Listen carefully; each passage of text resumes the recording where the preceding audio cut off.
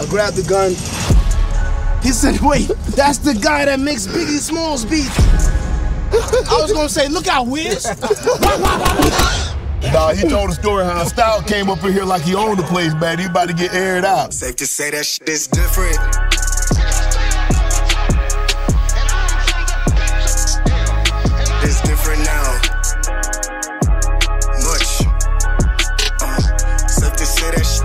You asked me, how'd you first meet Nas? Everyone wanted to work with him, but no one could find him. My job was to find him, and I ran into these guys. Right. And it didn't start off so healthy. So take him through the story. Where were we? This is the corner where Nas took the picture of Illmatic. This is the, the same corner that he's looking at. Okay. In, in, the picture where his face is a little kid. And this is that corner. We sold, you know, me and Mad Crack on this corner. This was a legendary corner. People went to jail, fought, shot to death, robberies. Everything happened right here where we walking now. So Stoute parked like right here. And he got out the car and it was like a walk.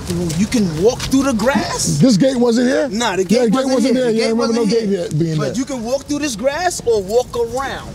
Since he cut through the grass, that meant he was aggressive. You know what I mean? That meant he might be coming to rob us. We sitting on the benches now. So you pulled up like you do, like you supposed to be here. He's pulling up like he fucking Like he, like he here. This is a nice neighborhood to pull up and just ask, hey, hey, do you know where Nasir and Nas is and shit? Bro, how you roll There's up in somebody else's hood? You don't know nobody. There's no one to call. Well, what are you supposed to do? Call? Who do you call? And now he pulls over. Now my heart starts beating. I'm like, for real? He's pulling over. He must, he must want this shit.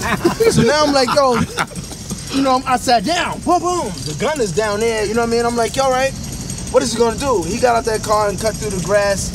I grabbed the gun. I said, yo, everybody look out. And Wiz said no. He said, wait, that's the guy that makes Biggie Smalls beats. He made one more chance. He's looking for Nas. He made one more chance for Biggie. And I said, what? You you went over there and talked to him in the middle, and you told me to chill. And if you wasn't there, bro, you know what I mean? It would have been nuts. you know what I mean? The pitch. Mm-hmm. Hi, my name is Steve Stoute. He said, yo, I'm just looking for Nas. I want to manage him. He said, I don't want to see him with mad skills and not making no money behind their skills. He said, I'm here to change that. He said, I want to talk to Nas. I said, Joe, Hell yeah. Easy. I was gonna say, look out, Wiz. nah, I was gonna definitely air you though. we appreciate, we appreciate that. We I appreciate Now, once that. we met- Well, appreciate you Once not taking met, my this is one of my Yeah, best friends talk. I ever had in my life. Yeah. This- I love him so much. Yeah. We've been through mad shit. This is Nas's brother. I don't know if you picked up on all that. Oh, real talk. No, that's his brother. Hell yeah, I don't live out here no more. I'm, I'm damn near rich too. You don't see me? You live here no more, nigga. I'm rich. I'm rich too. I'm thinking you all with a hood nigga that still here. Hell no, motherfucker. I gotta get the fuck out of here. Nah, but you know they love me forever, you know, but you don't know. Some little nigga might, you know, when Right. I was young, I was pressing anybody. Right. It's Christmas month. It's, it's December. You don't know what kind. This the hood. You know what I mean? It's the project. You can't predict the projects, but right. this is where I'm from. I lived. I lived in that building over there. You know. Grew up out here and everything, but I'm gone now. Shannon, I'm gone, Shannon. That's what's up. That's what's up. yeah. There you go. You already know my style outside. You know I'm You know, outside. you know where we are. You know I'm outside, boy. What up, Black? yes, sir. What's up, dude? I'm doing great, man. I'm out here with your brother, with people from the bridge, bro.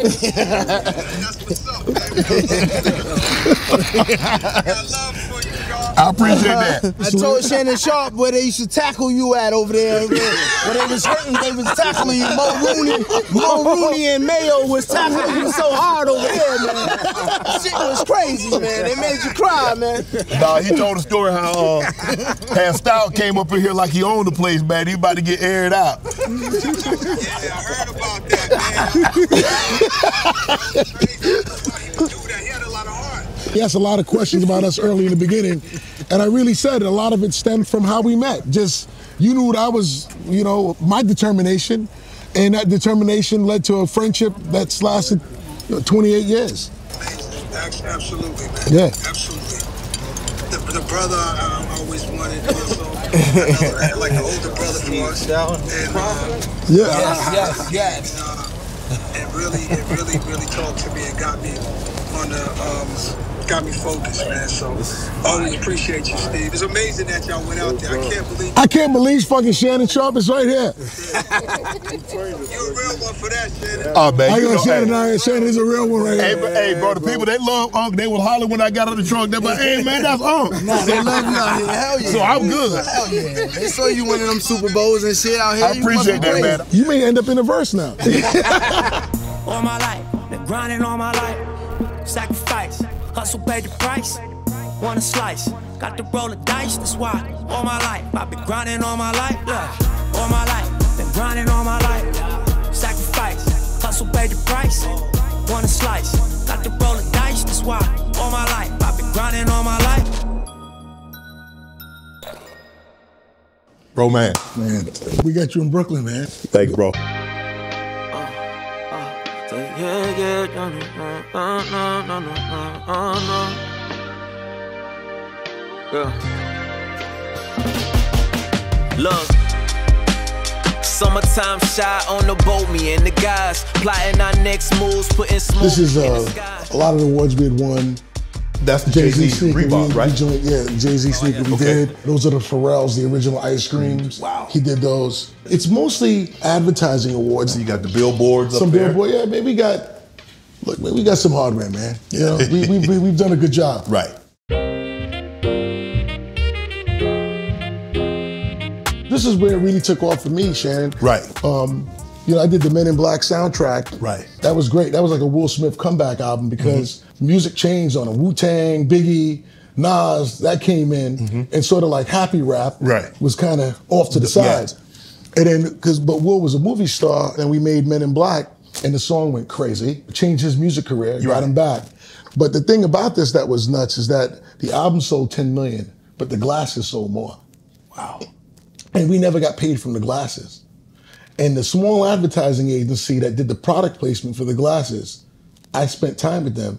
And literally over the next three years, I left the music business and got into advertising. That's how I got into advertising. Because I'm like, if you could, if you, if the music could sell all these glasses, imagine what I could do if I left the music business and focused on the product. And that's why I made the Jay Z sneaker and the Pharrell sneaker and the G Unit sneakers. I started trying to make products because I thought that we could use the music, and that's where that's kind of where we are Right. today. But I was back on that uh, super So early. you was this doing the, you was doing the collab before the collab was cool. It wasn't even a collab. It was we, it was more.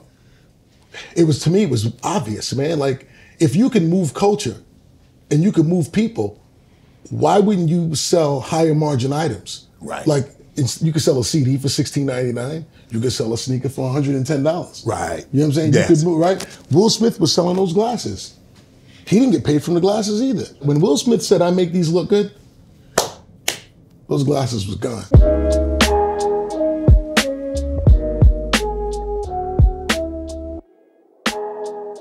He's a very innovative businessman, founder and CEO, a music industry vet, a multi-talented marketing genius, an industry leader and entrepreneur, award-winning record producer and advertising exec, artist manager, New York Times best-selling author. You were inducted into the Advertising Hall of Fame Achievement, recognized as Ad Color Awards, Innovator of the Year, named Executive of the Year by Ad Age, has one of the fastest growing companies, most creative people in business, a guru, game changer, icon, trailblazer, visionary, known as the Commissioner.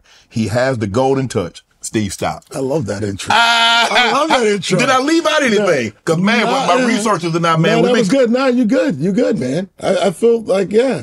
I was thinking, man, could he add a little bit more to that? But nah, you- I, I mean, we could add a little bit more season, but we Nah, that's we don't want to overseason. it. Nah, it was season perfect. Okay, I appreciate that. I don't know how many people know this, but Kobe lived with you for six weeks. How old was he when he lived with you? How old was he? He was going into his second year. So he's about 18. Yeah, yeah. And you said, is it true that you signed Kobe to a, a recording contract? Uh, yeah, I signed Kobe to a recording contract.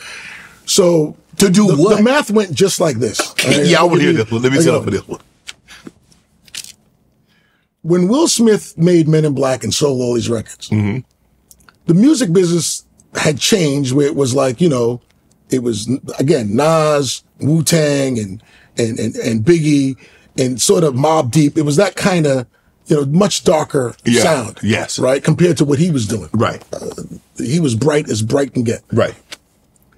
You talking about Will or Will, Kobe? I'm talking about Will. Will. I'm Will. talking about Will right now. Yeah. Yes. Okay. So I'm like, if this guy and he rapped over a sample and it became super pop and successful, I'm like, if we can do that, just maybe, but hold on. Shaq just did it. Shaq sold millions of records, man. Correct. People like he really did. Yes. It is not a fake thing. Right. Shaq had a successful recording music career. And I'm like, if Shaq can do it, Will Smith did it, big. Shaq just did it. This kid Kobe, people will love this guy. I mean, he went to the prom with Brandy. There was a lot of energy around him, and he actually had a rap group. He, when I signed him, he was in a group. I mean, you know, Kobe, God bless. He went, he went solo soon yeah, I was gonna say yeah. Kobe didn't Uh, the group. yeah. He was in a group though. He was in a group and um he put in the work. He came to my house. He lived at my house for six weeks. I lived in New Jersey. Um, a very dear friend of mine, uh, Charles Oakley, he came out, used to come out to Jersey and hang out with him, worked out with him a few times. And Kobe was the, you know, we in the morning, get up. I got him to go to this local gym. He would shoot a thousand shots. Um, then he would, he had these tapes. Um, it was Michael Jordan going left, Michael Jordan going right. So it was just the tapes were split of Jordan moving left, Jordan moving right, Jordan guarding people going left, Jordan guarding people going right. And he'd watch it for hours, and then we would go to the studio and record. That was his routine uh, every single day. I learned a lot of discipline, um, the discipline uh, from a young man. I thought I was, you know, I thought I was pretty de- uh, disciplined and doing my thing, and I seen another level of it uh, with him. Very, very special talent. I could, I could talk about him for for hours because um, during that period of time when I got to know him, he wasn't really into having a lot of friends. A lot of people never got a chance to get deep in, in, in get a chance to get close to him because he was he was closed off like that and um for years man. I we, we would we would we would speak all the time. I mean we, we became very very close friends. Um so obviously it was unfortunate. I took him to rucker park. He played in rucker park man. And uh he wanted to play because all these guys go out to all these nba guys go to rucker park. It's like you know you got to play in the rucker. It's like a rite of passage. yeah, and we go out there. Um, and I gave him to my man. Uh, I didn't have a team. I, I, Irv Gotti grew up in my neighborhood. I let him play for Irv's Murder Inc. team at the time. And he goes out there, and all the guys are there, and he starts putting on a show. Shannon, a show. He loved it. it starts to drizzle. I'm like, we got to close this game down. I mean, I'm not letting him play, but he's not going to let the game, he's not going to want to be the one to call it. So that he starts telling the basketball team how to play on wet surfaces. Wow. Pick, I'm like, we're not doing any of this because I already know this man gets hurt. It's on your me. watch. It's on my watch. uh, so we shut it down. But uh, yeah, he put, I forgot what he put. He scored 30 points in, you know, 12 minutes or some crazy number and shit like that. So could you tell because you said he's so disciplined, he's watching Jordan go left, watching Jordan go right. Jordan's guarding left, Jordan's guarding right, mm. and he's back in the studio recording. Did you knew? Did you know then, with the level of discipline that an 18 year old kid had, that he was going to be what he became? Oakley told me. Charles told me. Charles Charles told me immediately the similarities between him and Jordan as a with work ethic. He he knew it immediately. That, like he came in talking that I didn't know what the fuck he was talking about. I'm like, whatever. he said that, but the other thing he did was he asked me, um, and I had this guy who worked for me uh, at the time. He's actually now his name is Anton Marchand. He's actually uh, recruits for the Cleveland Cavaliers. He worked for me in the music business at the time. Kobe was going to guard Allen Iverson that year, and he was very much respectful of Iverson's speed and all that. And he said, "Go get." He wanted to get young guards from New mm-hmm. York that could, you know, do their thing, Crossover and- crossover and all that. We got him. Went to this indoor gym. He lined ten of them up. They came in from the three point line. He stood at the foul line, and they would come in like an assembly line, and he would guard them, try to strip them, take them to the hole, and then run back to the line before the next guy came. He ran that. He never got on offense. He ran that like a like an assembly line. wow. He was just guarding. He was guarding guys, six foot, fast as shit. They'd get past them, steal from them, block it, you know, uh, uh, uh, rub their shit against the backboard, come back, guard the next guy. He was doing this over. I couldn't believe that he was doing this. No offense, no nothing. And it was like this level of discipline, and in a, and in a, a, a tough guy, tough, like just a strong, disciplined, tough, principle-driven man.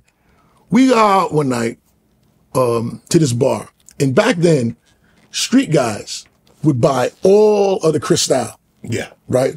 But let me tell you something. They're buying the Cristal because what they want is, assuming, not because they are drinking all of it. If somebody comes in, they want to, and you order Cristal, you got to check in. You got to check in. So I ordered a Cristal. He's not even drinking. Kobe's not drinking at all back then. He was not drinking alcohol at that time. Guy says I have to check in. This guy down at the bar, whatever. I'm like, I don't feel like doing it. He's like, man, fuck this. Just get thing. So I got the Cristal. No, I didn't get the Cristal. I didn't want to do it. I'm like, I'm not, fuck this. I'm not doing this. We go out to a di- diner like two, three in the morning. And the same guy, street guy, won't say his name, is sitting there and Cole is making jokes about his outfit and he's being a little loud. I'm like, yeah, you gotta, Chill with that, bro. yeah, he's not chilling with that, bro. he's loud. The guy sends somebody over, yo, blah, blah, blah, I want to talk to you. I go outside. I'm like, yo, the young kid, he got the gun out. He's like, yo, the, he got the gun out. Yo, I'm like, yo, he's he's a young man. Da da da. I'm trying to tell him. That's how nobody. He didn't even know who he was. All right, so he doesn't even know who Kobe Bryant is. I'm like, he's a, a young man thing. He's cool, whatever, whatever. Kobe comes outside, sees the gun. I'm like, go go back in. He goes, I'm not going nowhere. He did this on 23rd and 9th Avenue. He did that So what did old boy at say? 18. The whole thing, I, it, it died. When he said he ain't going nowhere, I'm like, yo, he's just thing. He don't know who you are. I was already, it was already, the guy felt embarrassed. It wasn't like, it wasn't crazy. He, the guy felt embarrassed. He really wanted an apology for the embarrassment. Right. That was, cause it was loud. Right. And I was giving him that, it's cool, man. It's fine. He didn't mean no disrespect. He doesn't even know who you are, man. He's not even from here. Right. When he hit the thing out, when he said, I ain't going nowhere, I'm like, dude, what kind of person is this? I'm giving you the out. Right. This is not your problem. I'll deal with this problem. Right. He don't want that. This is our problem. Wow. Man, that's, I never told that story, man. So, what? I mean, so you knowing that the kid is so disciplined, know that he's standing, as they say now, in business. What? What did he teach you? You can run through walls, man. You believe it, you can do anything. There's nothing you can't do that you that if you believe in it. That's what he taught me. He never Did he speak about the basketball aspect? I understand he was there to do music, but he did he talk to you about what he wanted to become in the Oh NBA? hell yeah, man! He had no, cause he manifested all of it, but he really did the work. He he knew that if you did all the work, that ultimately it was going to happen. Success was He didn't even think about it. He all his whole thing was that everybody who has a talent always tapped out in doing the work. I asked him one time. We were at a we were at a um a restaurant and we're sitting there talking, and I, and I just, and I always wanted to ask this question. Do, what do you think about athletes that come from, I would ask you this, man, athletes that come from two parent households versus athletes that come from single parent households. So you got these guys who come from single parent households, they're in the football field and their anger and the shit that they, I'm doing this for my mother. I ain't got no father, whatever the circumstances are, they bring in all that energy on the basketball court, on the football field. And they play with that level of Rage. yeah. And he goes, I said, how do you feel about them versus, he goes, you know, those guys are intimidating and they play with that rage and it works until they run into the real thing. Michael Jordan, me, Magic Johnson, they run into that. And we got the same level of work ethic, and rage, but we have we come from a solid foundation, and that solid foundation that's the that's the thing that those guys can't beat. He said that to me. I was like, all right. Wow. You also knew LeBron at a very young age. I mean, LeBron was what, like 15, 16 when you met I know I met LeBron when he was 17. I pitched LeBron. I the the, the, the whole story about LeBron and the 10 million dollar check that he turned down. Yes. I was there. I'm it was my idea to give him the check. I was in the room give, to give him the check. A kid with a single mom, I couldn't believe it. living in an apartment, Yeah. and you got a $10 million check. So here That's you right. go, bro. Paul Fireman. So I tell Paul Fireman, I'm like, we leave. We're in New York for meetings. We're flying up to uh, Massachusetts to meet LeBron. He's flying he- the plane, Akron. yeah, from Akron. It's like a six o'clock, five thirty meeting. He, I had to finish school to come to me. Boom. I'm like, Paul. He goes, Adidas is going to do the deal. Nike's going to do the deal. He wants to go to Nike. His agent is already pre-approved did a deal with Nike. I'm like, let me tell you how you deal with this in the record business, when you want to sign somebody, you give them the money right there in the front. Like, you know what? Whatever you think the number is, we'll give you this signing bonus right now to not even take the other meetings. Because I figure if you're meeting me, you're really considering it. Right. I'm gonna give you a signing bonus to make on top of what you think you should get, so that there's no reason for you to take the other meetings. Ten million dollars is the number. He calls his wife. This is when I seen some early some ball and shit. He calls his wife. When we land on the FBO, there's a ten million dollar personal check waiting at the thing because we're going right to the office. I'm leading the pitch to LeBron and and and Maverick and uh, his agent at the time. I can't remember this guy's name. Gordon. I'm sorry, Aaron Gordon doing the pitch, doing the whole thing, and we get to the thing, to the final stage, and Paul's going to present him the check. Paul presents him the check. I remember staring at his face. This is huge. We're going to sign LeBron James. We leave the room, we come back. When he leaves the check and says he's going to take the other meetings, I clap. I knew the world changed. A young black man, eight, 18 years old, walked away from $10 million going back to the projects. I clapped. I clapped, and it was my idea that didn't work. It meant so much. Not that the Reebok was wrong or the check was wrong, but the, the freedom and confidence and belief in yourself to do that.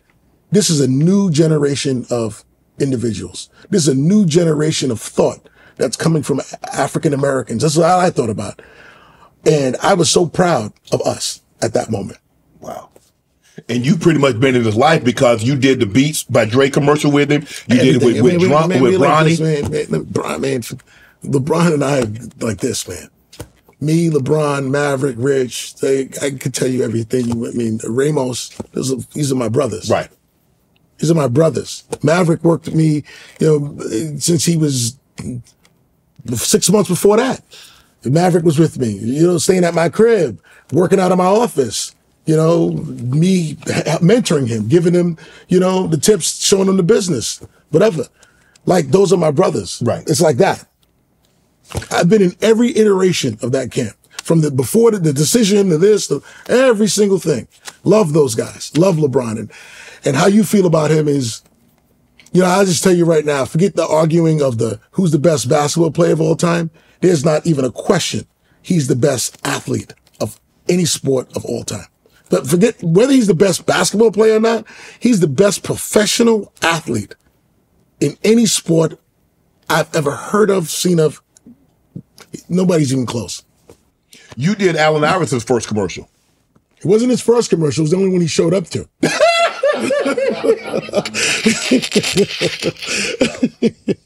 Well, Chuck, I love you, Chuck. the man did say practice. Not a game, but practice. So the likelihood you get him showing for a commercial was going to be tough. he showed up to the commercial um and it was a very special thing that will you know the commercial with him and Jadakiss man it played on radio like a song the it, it became a song it was Allen Iverson bouncing a ball creating a beat that Jadakiss rapped to Right. and when I did that, Hype Williams, who's a great uh, music director.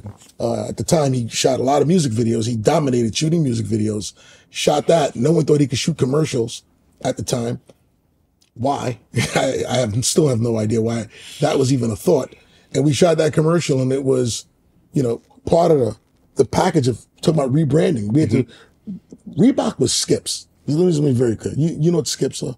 And people, I don't wear those. Uh, those are skips. Yeah. yeah. You don't want to wear those. You're right. Right. You skip those and find something else. You skip something, and find something else. Those are Reeboks. We had to rebrand that. Part of it was um, this R, changing the letters to RBK, Okay.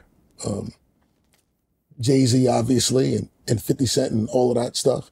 And then it was AI and Jadakiss. So we we did work around AI and Jadakiss. We did another spot with um, uh, Stevie Francis and Scarface at the Right, time. yeah. Uh, ver- ver- that wasn't as successful, but we were doing this thing to fuse music and sport together. Because my whole thing was like every rapper wanted to be a basketball player, and basketball player wanted to be a rapper, and um, that was that's less true than it was back then. Uh, today, but because of that, I wanted to create marketing and advertising around that fusion, and that was the way we rebranded Reebok. Right. How were you able to convince Jay Z uh, to create a sneaker with uh with Reebok? it wasn't really hard to convince him. Nike at the time didn't believe in music as performed. That Nike was very um, disciplined to its manifesto about athletes and performance. They wouldn't mess around with anybody else. So an artist, the most you can get from Nike was some free sneakers. Right. They wouldn't do business with you. There was no commercial opportunity. And Jay-Z knew, like the great ones do, that he was moving the culture. Okay. So when he told everybody we wearing button up shirts, we're going to change clothes, that was happening. If he did a pair of sneakers with Reebok, forget Reebok's, uh, whatever they were. If he puts his name next to it, they're going to buy his sneakers. Right. And he didn't have any self doubt that, forget Nike, I could do this with them. And by the way, while he was wearing his sneakers and selling his sneakers, sometimes he'd wear Nike too. And he's like, people ain't gonna believe me if all I did was wear my sneakers. I gotta show them that I choose to wear my sneakers like I choose to wear those. it's an option. But like this whole idea, like only wear your sneakers. He knew that would that that looks fake because that wouldn't be real. Right. What's real is I do like these. I also do like those. But it's creating an option right? Which put that put Reebok in the conversation. Um, so it didn't really take much convincing. The convincing was, you know, getting a deal done, not if Reebok was the right. And he company. wasn't an ambassador; he was a partner. Jay Z's not the ambassador for anything except himself. he was a partner. He was a 50-50 partner. How do you, that's the thing, because a lot of times these brands will throw a large sum of money, and a, and an athlete or an entertainer will take that. It's like okay, fine, but how do you convince them? Like, take less of this and become partnership or equity stake. Jay Z understood that from the beginning because he was an independent artist. Okay. So when Jay Z was selling music out the back of a trunk, the back of a trunk, which Master P did, which Birdman and Cash Money did, Luke Skywalker did. There's some great entrepreneurs who sold like literally hand to hand combat with distributing music. What they knew was whether they got there because they tried to get a record deal and then they got turned down, so then they had to just do that. They learned the margin was there. They actually, that was the first time you got a chance to look under the hood and realize, wait a minute, this thing that cost me, you know, a dollar to make that I could sell for $16, all that money right there, that's mine. If I got a record deal, I'd be getting a small fraction of that. Once they learned, once you learn that, once you see that, you can't unsee that. Right. So betting on yourself becomes the right thing to do because that's where the margin is. When I started United Masters, the whole point of building this company, our music company, was that I felt like artists should be independent. They should keep a lion's share of the money. They shouldn't give away their name and likeness because of a of a they got money when they was 18 years old or their first record deal. In order for that deal to be a good idea, the record company has to have a belief, more belief in you than you have in yourself. Right? Mm-hmm. Because they're basically saying, I'm giving you a half a million dollars and you're going to give me your name and likeness for the next 10 years or whatever the term is. You didn't even get a chance to find out what it's worth on your own. Right. Being independent, there was a period of time where it was hard to be independent. When those guys did it, not everybody was built for that. But today, while music is being distributed between Apple and Spotify, and you have a platform like United Masters that you can go through and put your music out and get it distributed everywhere, why would you not do that versus going to get a record deal, getting some money, but sacrificing, giving away all the upside for a short-term check? It just don't make no sense. But Steve, is it a, is it a case of I've always wanted a record deal. I've always wanted to work with a co- a record company. Yeah. It is that. By the way, 2 Chainz had the same argument me years ago. He goes, You don't understand. I'm like, That's the dream. Well, the fact of the matter is, part of the dream is to get paid. That is not how you get paid. That's you're not going to get paid that way.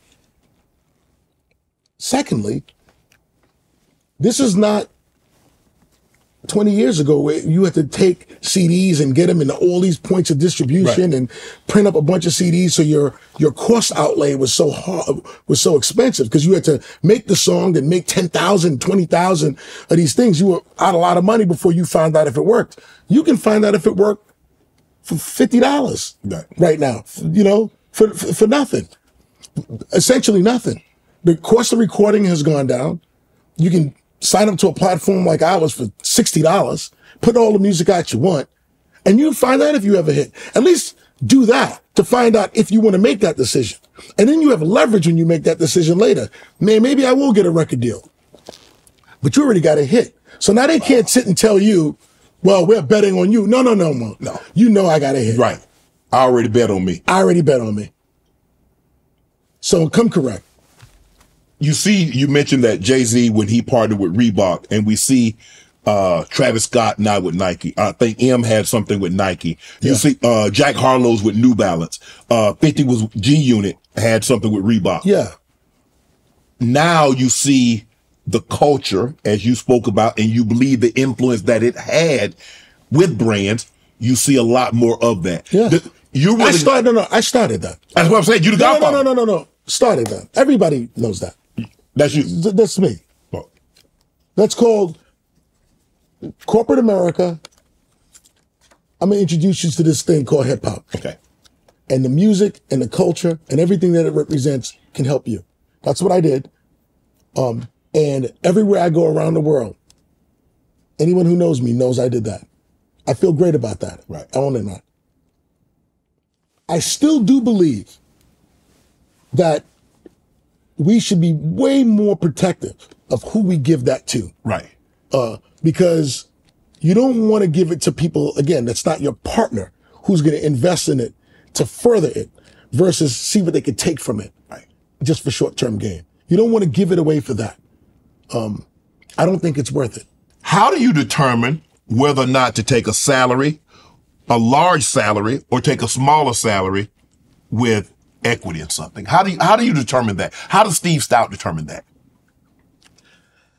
so i'm in the music business Yes. i went through something Yeah. okay if you don't mind me telling you the story I would love to hear it. I'm working at the record company. I'm at Interscope. I went from Sony, I went to Interscope. My salary is two and a half million dollars a year. I'm 27 years old. I'm doing well by anybody's standards. Yeah. Better than well. Yeah. Right? Um, making money, more money than football players back then in, so in 97. Yeah. Okay. For sure. This opportunity comes along where I see, you know, Men in Black happens, the agency that put uh, the glasses in product placement for, for, for Will Smith. Oops, sorry. The agency that did that, I wanted to work with them because I'm I've never met an agency before. I'm like, damn, you. Will Smith wore these glasses. The glasses went crazy, and everybody thinks that was an accident. I could do that shit every single day. I know exactly who the people are that should be touching these products in order to create, you know, an opportunity to sell more of that product. I spent time at that agency. The guy made me an offer. I'll give you 25% of the agency and $150,000 salary if you come here. So I'm going to leave the record business. Two and a half million dollars. All of the Perks that come along that with come with it. Who you are, the rooms you walk in, everything that comes with that. To go work in an agency where I don't know anybody, I really don't even know the business. I just know that one aspect of the business. And I'm like, if I don't make that bet on myself now, and I'm 28 years old, 29 years old, when would I ever do it? When I have a family, when I have kids? I'll never make that bet. Right. I made that bet. We sold that agency within two years for $190 million. I was rich as fuck at the by 31. yeah. I was 31 years old. Wow. Doing it at an extremely high level. I'll tell everybody that. When I built this company, United Masters, the employees get equity in the company. I want people to get equity. I want people to, to make more money. But you can't teach people sacrifice. That's unfortunate. Yeah. You just can't teach it. That's what then you got to be willing to That's what you, something. some, you got to be willing to do that. I will offer that. But if you're going to sit there and, and think short term, then you're really betting against yourself. You got to be willing to bet on yourself. You can't think that you're getting away with something because somebody overpaid you. You got to believe that you are worth more than that salary and that you can prove that. And if you are worth more than that salary, why wouldn't you have equity? Whether, I mean, I just think that it's time, over time, the whole working class idea, how you work, has shifted from the indentured servant, the slave, the employee to ownership. You got to have ownership. I mean, this is your show, and I'm proud to do this with you because everybody publicly seen what you did, that you knew your worth. You created value and you knew your worth and you got what you deserved because you got what you earned. Correct. And if you don't have an opportunity to have ownership, then no matter how good you are, you'll never feel the impact of your value. Right. So, like, you got to do that. And you're going to take a short term L to do that. So what? Right. Could you? I don't want to be one of these people. I never wanted to be one of these people who said, "Man, I came up with this idea. I invented this. I did all this shit," but you never got a chance to benefit from it Right. because you took the short term money. That's not cool. And you see it all the time with your a lot of your peers. I'm sure you you want to tell them all the time, man. I don't know what you could do to help them, but a lot of these guys are they they are trapped by that mentality of short term. They feel like they're stealing or something. Like they like every time they get a check, they're getting away with something. No, you're giving away too much. Right. Well, it, it comes down to how do you see yourself? Do you see yourself as talent, or do you see yourself as a partner? Do you see yourself as an owner? For so long, we've been we've been talent. Taught to believe that. Yeah. Because you come into football, they cut you a check. You're not part of the, you don't own part of the team. Mm-hmm. You come into basketball, but in this media space, what we've been able to do digitally. Okay, no. Hell no. But you know what? Even outside of the digital, and I ask you something, man. I watch your ex partner, your, not your partner, your ex host, mm-hmm. Skip. I, I don't even understand why all these other black athletes even go on the show now. I, I don't even understand what they're doing. It to me, it's so clear that he needs black talent, athletes, rappers. He's doing everything to prop himself up. And I, I know he's getting paid over there, and everybody else is getting pennies on the dollar. And I'm like, why would you do that? Why would you go over there and do that? He clearly isn't the guy. He needs you. Why don't everybody leave the show and watch, let's watch him do it for for a minute. That show would be dead immediately. They get all these guys over there, they give him pennies on the dollar, and he and they prop him up. I'm like, we got to stop doing that, man. We can't do that no more. It's not, it's not worth it, and there's nothing that comes out of it long term, except what they benefit from. Well, I like where I am right now. So get in on the action with DraftKings Sportsbook, an official sports betting partner of the NBA. New customers who deposit $5 or more can get no sweat bet up to $1,000 back in bonus bets. Download the DraftKings Sportsbook app now and use code Shannon. New customers can get a no sweat bet up to $1,000 if your first bet loses. Only on DraftKings Sportsbook with code Shannon. The crowd is yours. Never found my place in the crowd, so I stay from the crowd. They laughed at me then, but look at their faces right now. Jigga gave me the blueprint. I've been tracing it out, never Run, chasing the clout. run. I'm just embracing my So role, here, never catch me worshiping. This is literally the greatest albums that came out in 1988. Like EPMD, Follow the Leader, and by any means necessary, Kid and Play, Run DMC, Salt-N-Pepa, yeah, Easy Rock, Easy Ghetto E, Boys, Ghetto. Boys, yeah. This all came out. Ultramagnetics, The Great Adventures of Slick Rick, Big Daddy Kane. This all came out. This is literally one year where a lot of these artists were on independent labels, so they had creative freedom and made some of the best music that defined an era. Public Enemy, it takes a, it takes a nation of millions. NWA was this. I even said to Dre, Dr. Dre, I'm like, you made Straight Out of Compton and you made the Easy Easy Does It album the same year, man. You made two crazy, beautiful classics Slick one Rick, year. Yeah. Salt-N-Pepa. And that's that's where I grew up in. I grew up in uh, in Queens. This is like in my neighborhood, man. This is where I grew up. So I, I just look at this. This is reminds me of being 15 years old, just watching this. Like they they literally lived here while they were stars. Wow. So like you'd go to the mall and Right. you would see them. Yeah. And LL Cool J like in the mall. Wow. At block parties. LL Cool J I seen at do block parties in Queens. Then what happened?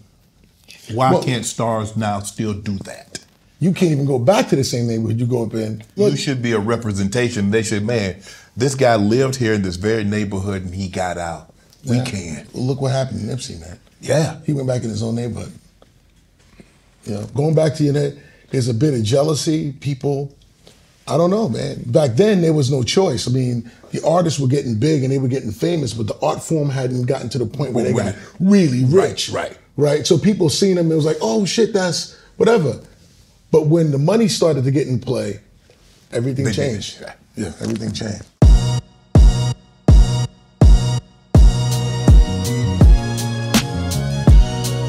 We're headed over to your borough. We're headed over to Queens, where it all started for you. Yeah. Is Queens the most overlooked hip hop borough? Well, we're leaving Brooklyn, Right. which gets a lot more hype because of Jay Z and Biggie, and Queens definitely gets overlooked.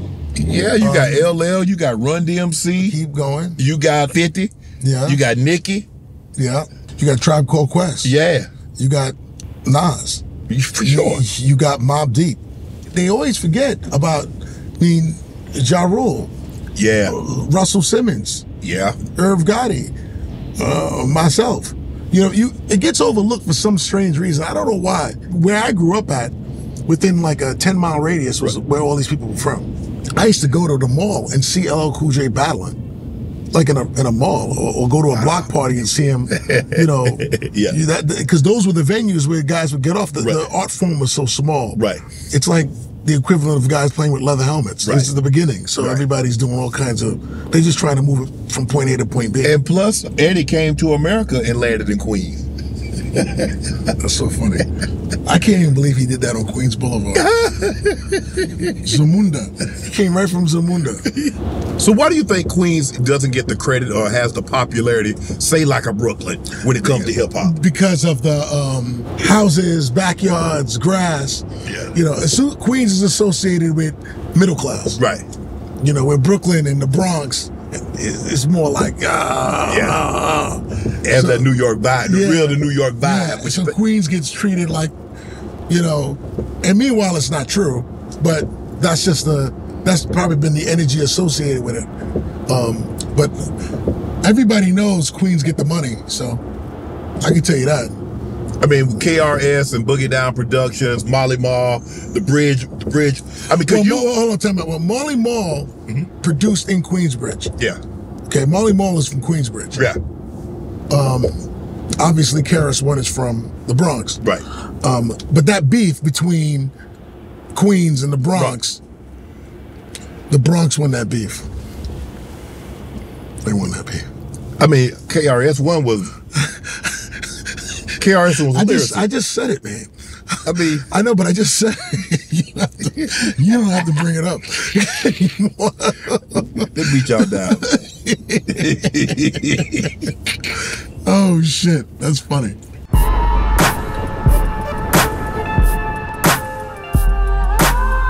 As far as you can go back, who were the first rappers to have beef? Well, it LL and Kool Moe Dee? Because that was the first. That's the first one I could I could think. LL kind of embraced the whole beef thing. I'm trying to think who before LL who had beef that was blatant. There was like um Kool Moe Dee was actually a, a battle rapper. There was a um there was a mixtape early that was not if you really know hip hop that was like Kool Moe Dee and Busy Bee.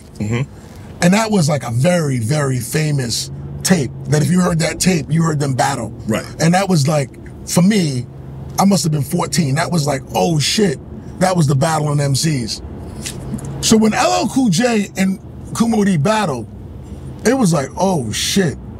Oh, you ready for that smoke? This guy, Kool Moe Dee was a made man already Right. from the underground scene. He he got famous with um, Wild Wild West and all Right. that. Yes. Yes. But he was already like a made man before that. Okay. We getting busy. When they battled, I couldn't believe LL came out on top because Kool Moe Dee was like that dude, and then LL took him down, and then LL took down. LL made a song called "To the Break of Dawn" and took out. He took out Ice T and Kool Moe Dee and Hammer. he did all three of them on one song. He gave each of them a verse. Yeah, that was Like he was really into that. He's always into that. right. By the way, that's one of his issues. He he, he only that's the only mode he knows. Right. Like when he rapped a lot, it was like I'm going girls mode, or I'm going This mode. I'm this mode. We rapping. uh, we going after it. We did a song with uh he had this kid idolized him. Uh, I forget Canibus. yeah. And Yeah. Can and and Al just shitted on the kid for no reason, man. He's Al is crazy. He said. "Can I buzz?" When, when he when he was when Al was rapping, like all the way, he still raps. But when Al was in that, a younger guy rapping like that, we put Foxy Brown on a record. He puts uh, on on, on I Shot Your remix, and then he puts on the record female rappers too. I don't give a fuck, boo. This girl is 17, man. this girl is 17 on the record. Why are you saying you can take out female rappers too? I don't give a fuck. He's like a guy, man, who's like, it's either war or we talking about girls. right. But this in between shit is not what I do. Why are you the best guy to interview music people right now? That shit is, you run with that, man. Yo, run. There is nobody.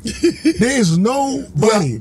nobody. I'm a sports guy, but I wanted to branch out. I wanted to show my versatility. Bro. But I was just more than a sports guy. the fucking baby interview, the Corday interview, even the Damon Dash interview, as fucked up as that was, he's a gigantic, almost, almost not. He blew it. He had Jay Z. He had the most important artist of a generation. So, so what happened with that relationship? How did that relationship that was so good sour so fast? Dame's antics were just, it became like people also over time, you mature. It's like you, you didn't have friends at 16, but by the time you turned 19, they were still doing the same shit that you was 16, right, and you're like, right. I, I can't. Like, Yeah, we gotta I, gotta. I- yeah, we gotta, you know, I, you start spending less and less time with them because Right. of it. It's like one of those things where Dame Dame wouldn't change. The way he spoke to people, the way he treated people, his he was angry. About what? Bro, you getting paper. He was angry because he had a strong perspective about his business philosophy.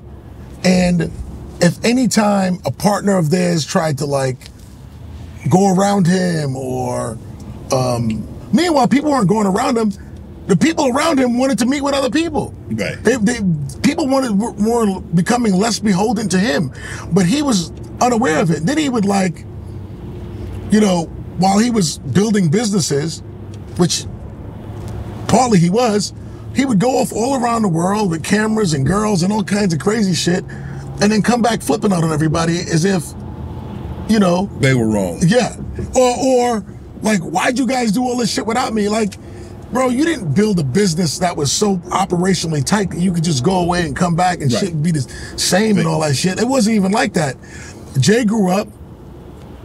You know, Jay wanted more.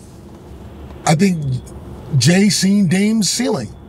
I mean, I think that's really what it was. I mean, uh, uh, Jay seen Dame's ceiling. You can't fault a man for wanting to get better. Nah, he wanted to. He wanted more, and um, everybody wanted more. I- Dame just had a very particular way of approaching it. He wasn't. He's far from stupid. Right. Very, very, very smart. Right. Uh, very talented. Ego through the roof, through the roof. So you, there was no working with him. Right. That, that- no one wanted to work with him. There was no work. well, as much talented as talent as he has, nobody People wanted got to work people with him. got to want to work with. Jimmy Iovine had this line: "When the shit gets bigger than the cat, you got to get rid of the cat." Right.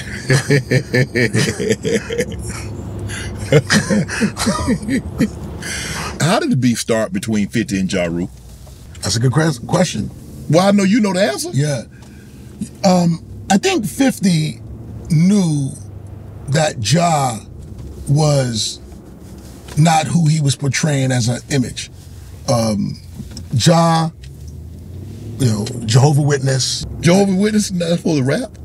I'm not saying they're not supposed to rap, but it was like Ja was coming up with this gangster image, and it was like, that's a stretch for you. Right. And I think 50, that was one thing. And then they had some like very neighborhood beef. And I remember when we signed 50, there was something going on. I think he snatched John's chain or somebody snatched somebody's. It was one of these things. And they had a fight in Atlanta. Uh, 50 fought him in Atlanta. And it was just like, I didn't even understand it. I'm like, why do you keep having problems with this guy? It was like I always, it was like he was looking for problems with him, to be honest with you. Right. But it, I think it was driven by this idea that he, this image he was portraying that he didn't think was was authentic or whatever, and then he had a problem with him, and it led to, you know, big issues. And then Ja and his guys ran up on 50 in a studio one day, Right. And you know they touched him up. Um, So they ain't gonna never got- be cool. no, they're never gonna be cool. And now it's kind of, I'm happy that it's all kind of over with, because it. What I don't like at this point is older statesmen Yeah. like them Still beefing. stuff because it makes the art form look bad. Right. You know, these guys are, are made men now. You know, like I, I love what Fat Joe's persona is today. And I love um, obviously what Jay represents and, and what Nas represents and, you know, the art form, the leaders of the art form, you know, doing well, you know, being positive, representing sort of as not role models, but representing the movement and the culture of hip hop well Right.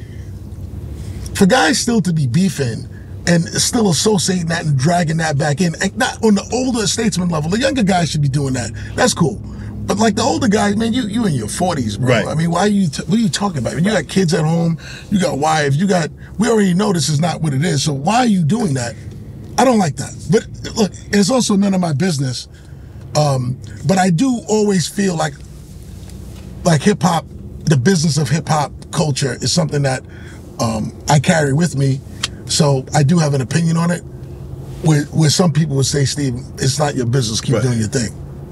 Do you remember when uh 50 crashed the stage with Hove, Diddy, and T.I.? Yeah. Um, 50's a wild boy, man.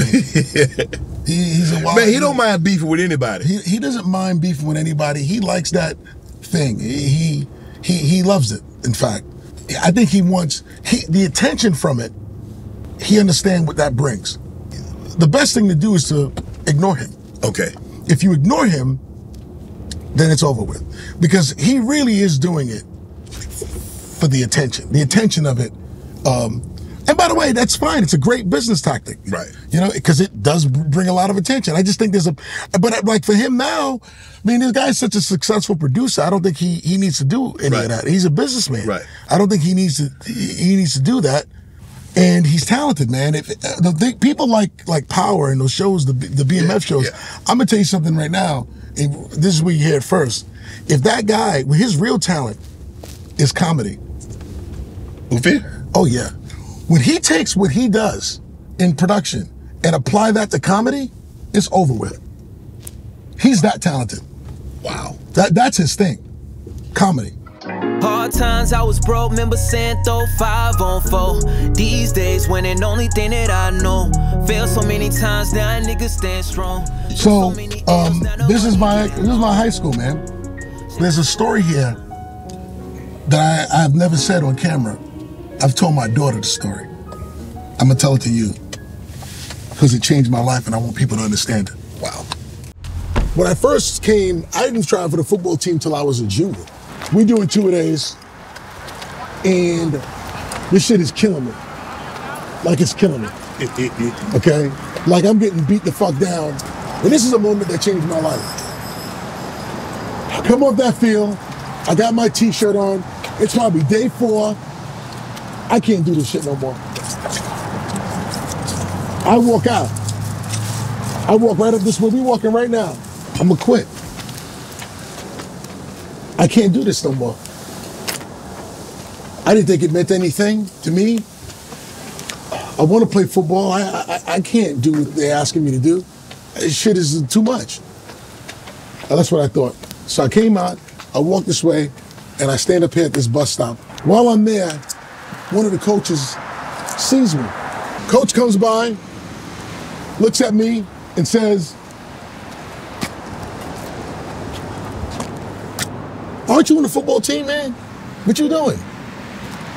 I looked at him like, nah, man, I I'm not, no, I didn't say I quit. I said, I, I said I'm not on the football team. I don't know what you're talking about. Meanwhile, my name is on the back of the jersey. so he walks up. He knew I was. He knew, he knew I was lying. What I did was, I left and I had to accept the fact that I, I quit. Right. I came back that year as a senior. I did everything I was supposed to do and made the team. And the last half of the season, I started at running back. The fact that I went back to finish that job that I started, and they never let thi- this football team, the Holy Cross, that, that's like the premier football in within an hour Yeah. in this in this thing, right? Mm-hmm. That that, and to come back as a senior and do that was the first time I did something I was successful at. Where I was like, man, I quit, but I couldn't live with that in my heart, and I had to come back and do that, and that shit changed my life, man. I told my daughter that story because everything that I did from getting into the advertising business, Right. getting into the music business, there was no clear path. There was no path for none of it. Right. It was very easy to just say, yo, quit. But you didn't. I didn't quit. I didn't quit. And the one time I did quit, I went back and fixed it so I could erase it, and it became the greatest lesson of my life. Had you not gone back, would you be the Steve Stoute that's standing not. right here today? I swear to God, no way. No way. If I got away with quitting, Because you quit once, it's easy to do. once you quit once, it's easy to do.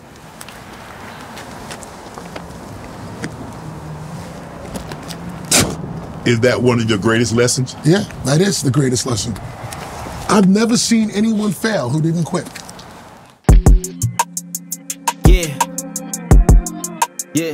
Yeah. Oh, yeah. Were you cool with Jay Z and Nas when they had their beef? Yeah. So how did you, how did you stay Switzerland and stay neutral? Part of it was easy because I know how much respect they had for one another. Mm-hmm. I don't know if you ever been in a situation where two people had respect for one another, they just never shared it with each other. Correct. And you're sitting in between them thinking if they only knew what each other felt, they would this would go away. Mm-hmm. That's what I felt. The part of it that was difficult was the outside pressure of people thinking, how could you be friends with both of them at the same time? You must be passing information or something like that. Mm-hmm. There was no information to pass. They had known each other before. They knew each other before me. Actually, they knew each other before me. And the issues that they had had nothing to do with me. It was it was very unfortunate. To my earlier point about being an elder statesman, when they had a beef, no guns, mm-hmm. nobody got shot, Right. lyrical, mm-hmm. songs. Right. And you know what? They made up as men Right. in front of everybody. That's what it's supposed to be. They had a conflict. It was handled through music, and they made up publicly. No one got hurt. No one got no guns. None of that. That's that really did a lot, as far as I'm concerned, for letting people understand that disputes can be handled. Right. Disagree- yes. And that was dope. That was the dope part that came out of it. Jay and I are cousins. Oh, Yeah. I mean, I don't talk about it because there's no reason to talk about it. But I went to my grandfather's funeral and his grandparent is buried two lots down. Like they, it's like one of those type of things. not knowing is that how y'all guys developed a friendship, even though you didn't know? No, we developed a relationship, friendship, honestly, over Madden and, and you know, you know, literally over Madden and um, there was some, there was a business deal that we were working on. Right. He was working on that he wanted that I decided I wanted to be a part of. Right. It was an artist that we were going to sign, and it was a problem. And then when we went to settle the problem, I was like, man, I don't even give a fuck about this Right. little thing. I care about really big things. And it was the way I talked about my dreams and ambitions for big things. Right. And he's like, I like this guy. Right. And then we became friend. We became friends. Became very close friends over time.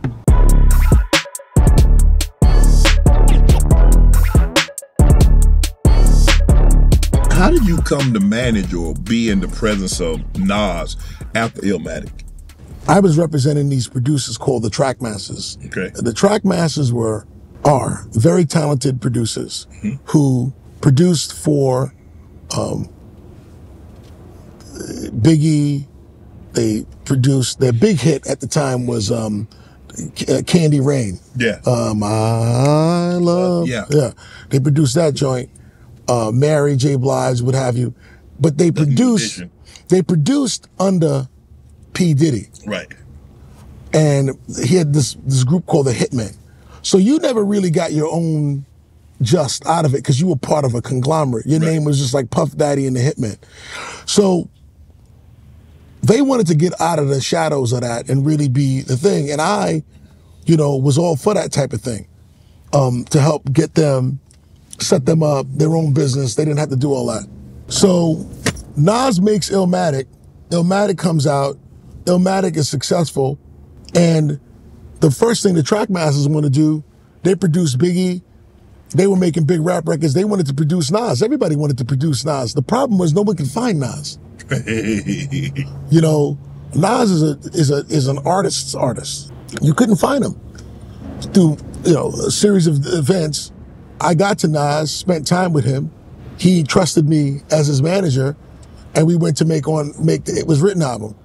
And the It Was Written album was his biggest selling album of all time. And the first song that the Trackmasters, when I put them together, they made was "I Rule the World." Wow. Working with Nas is uh, it's one of the greatest accomplishments I've ever had in my career. Really? Oh yeah, Nas is one of the greatest writers of all time in, in, in any topic, writer. And when you get a chance to work with that level of greatest, the, one of the best who ever did it, that, that this just doesn't happen. You know, it's just a very, it's a privilege to be able to say that you did that. And at the age of 26, 25, 26, when I was doing it, working with him, when we first started, all I knew was that I was working with this artist who was hot and had a, you know, make a big follow-up album. When you look back at it 18 years later, you realize you got a chance to work with one of the greatest who ever did it. How did you get him to adopt a more radio friendly, a more commercial friendly rap, considering that he had had success with Illmatic doing it his way? Who's helping you with these questions? I'm just asking, man. I'm just, Steve, I'm just asking you, man. I'm just, you know, we put a lot of time and research into this to make sure we get to know. It was a risk. He bet on me. He trusted me. He believed in me. I, I don't know how he knew to trust me. But I spoke to him a lot about the fact that we have to evolve. He understood that. Right. He understood that what that meant. So that meant making bigger music, appealing to more than because his first album, Illmatic, which is considered one of the greatest rap albums of all time, Right. hadn't sold that much. It wasn't popular, but those who knew it, the purists of the art form, understood it and respected it and held it in high regard. But this was also that plus make money. Right. And we had to make money, which meant we had to, you know, expand and, and grow, um, which is what, you know, me coming into the fold and helping him make it was written was about. But how do you get him to understand that? Because I read where in the beginning he didn't really care about money success. He wanted to write. He was a writer. He wanted he wanted to perfect his craft. But success and fame and money wasn't what it was about. What he knew was the thing was working. There was a very clear line between the artist that was making successful music and looking successful as a result of it, and the artists who were underground, local. Right. Couldn't couldn't get out the local moniker. And he didn't want that to be him. So whether it was about caring about money or not, he definitely cared more about expanding his audience. Right. Right. So it, he wasn't it wasn't driven by money. Like yo, we we. But the other thing that was important, uh, Shannon, was that during that time, making money or being successful was a part of what was successful. Right. People wanted to see, you know, Versace and ah and ah and ah. That was part of it. Right. So that was the lifestyle attached to it, to, to the music. He didn't care about money, but he did care about being successful. Okay. Yeah. So, uh, you know, my interpretation of that was let's make bigger music, let's make bigger songs, and let's find the producers um, and the talent that can help us. And that was obviously working with the Trackmasters, going to get, you know, Dr. Dre Right. to produce uh, on that album, which nobody had done before, making music videos and visuals, getting Lauryn Hill to do Sing I Rule the World. Right. Lauryn Hill, nobody could get Lauryn Hill. Lauryn Hill is Lauryn, Lauryn Hill. you know, so the combination of all of that was what led to, you know, us doing something that important. Now you see transition. He's Nas, the businessman, the big private equity. You know, Yeah. and all the stuff that we see him a part of.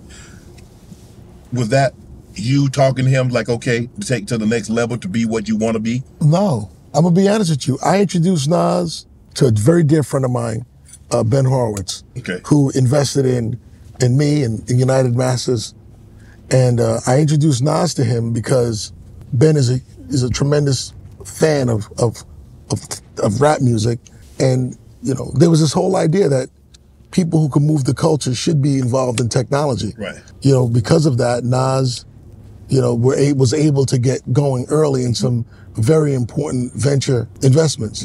Coinbase being one of them, which was big. Uh, Ring, uh, the Yeah. the Yeah. Amazon thing, Ring, and then you know that got him going, and he built a a, a VC firm around that. And he, you know, he has mass appeal, and you know, Nas is a great businessman. He's a Nas is an all around talent, man. He's a he's a very special person that that people love and adore. The, the Yeah. seemingly the new thing now is people seem to be unloading their catalogs. Taylor Swift did something very unique. She released her entire catalog, and now she got new masters, and the record companies are trying to say now that They're trying to change agreements. Yeah. Yeah. There's two types of catalogs you can sell. okay, One is your publishing catalog, which is the your share of writing, right, which are most artists can sell right, their version, their portion of writing a song. right, Then there's another side of the catalog, which is the master side. right, Most artists don't own that to sell. They don't own that to sell. Taylor didn't own that to sell. right, Okay. That's the reason why she was mad. Cause somebody, they, they sold it to somebody else. and you wouldn't give her a chance to buy it. well, that's, and, and, and I'm gonna tell you something about that that nobody ever talked about. Her father owned piece of that company.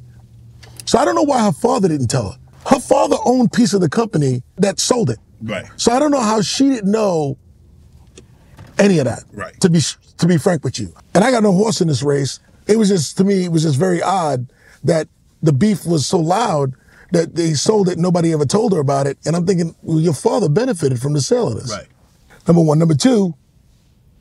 Most artists don't have that, which is the reason why I fight for that about ownership of masters because that's the thing that has all of the long-term value that you could, you know, your family could benefit from for, for years to come. Right. Which is the reason why you should maintain and own your master rights. The multiples that are being paid for these things are really high, very, very high. And for those who can benefit from it, it's great, which is the reason why, again, the artist should, should hold it. To me, it's one of those things that I personally, if I was an artist, I wouldn't sell it. If I owned my catalog, Right. you can get a loan against it, Right. right? Borrow against it, whatever. It's it's very valuable. You can license it, Right. but I wouldn't sell it. It's because what's happening is as technology changes, it keeps unlocking new value. So it was worth one thing. Then all, when when there was when there was uh, vinyl, and then all of a sudden when CDs came, it became exponentially more valuable because then everybody started rebuying it again. Right. Right. All of a sudden you started buying Bob Marley's greatest hits, or you know whoever uh, uh, uh, Barry White's greatest hits. You name the act that you like. Every time new technology comes out, the catalog becomes much more valuable again because people are, you know, reformatting the music in which they have it on, or rebuying that new format. Right. So it's very hard. The guy who's buying it is betting that the that the new format change is going to only lead to more value over time. The person selling it thinking it's not. If you can afford to get a loan against it or license it, you can still get some money without necessarily selling it. Again. That's what I would do. But the but the key is to own it. No. If you don't own it, you're not even in this conversation. You can sit here and ask artists, what do you feel about selling catalog? And they'll sit there and tell you, I have no idea what you're talking about. I don't have any catalog to sell. Which is the, which is again, fucked up. Is it true at your wedding Kanye took the mic from Maxwell? Man, how do you know this, man? That happened for real? Man, shut up. Who told you that? The night has a thousand eyes, or most night have. Nah, man. No, no, who told you this? I'm just at Steve. I'm just asking a question. I just want to know. I think my uh, my audience want to know. Maxwell was performing. Kanye got up there and started freestyling. Yes or no? That happened. That, that's so wild that you know that, man. I'm telling you, Anthony, who who would tell you that? Yes, Kanye grabbed the mic and started freestyling, and it was um, craziness. That's all I could say. It was crazy. So what? Oh, it's about wedding, your wedding night. So what are you thinking? You got Maxwell. He's saying this woman's work silently. Uh, uh, Fortunate. fortunate. Yeah. Ur- Urban Hang Suite. The whole album. Yes.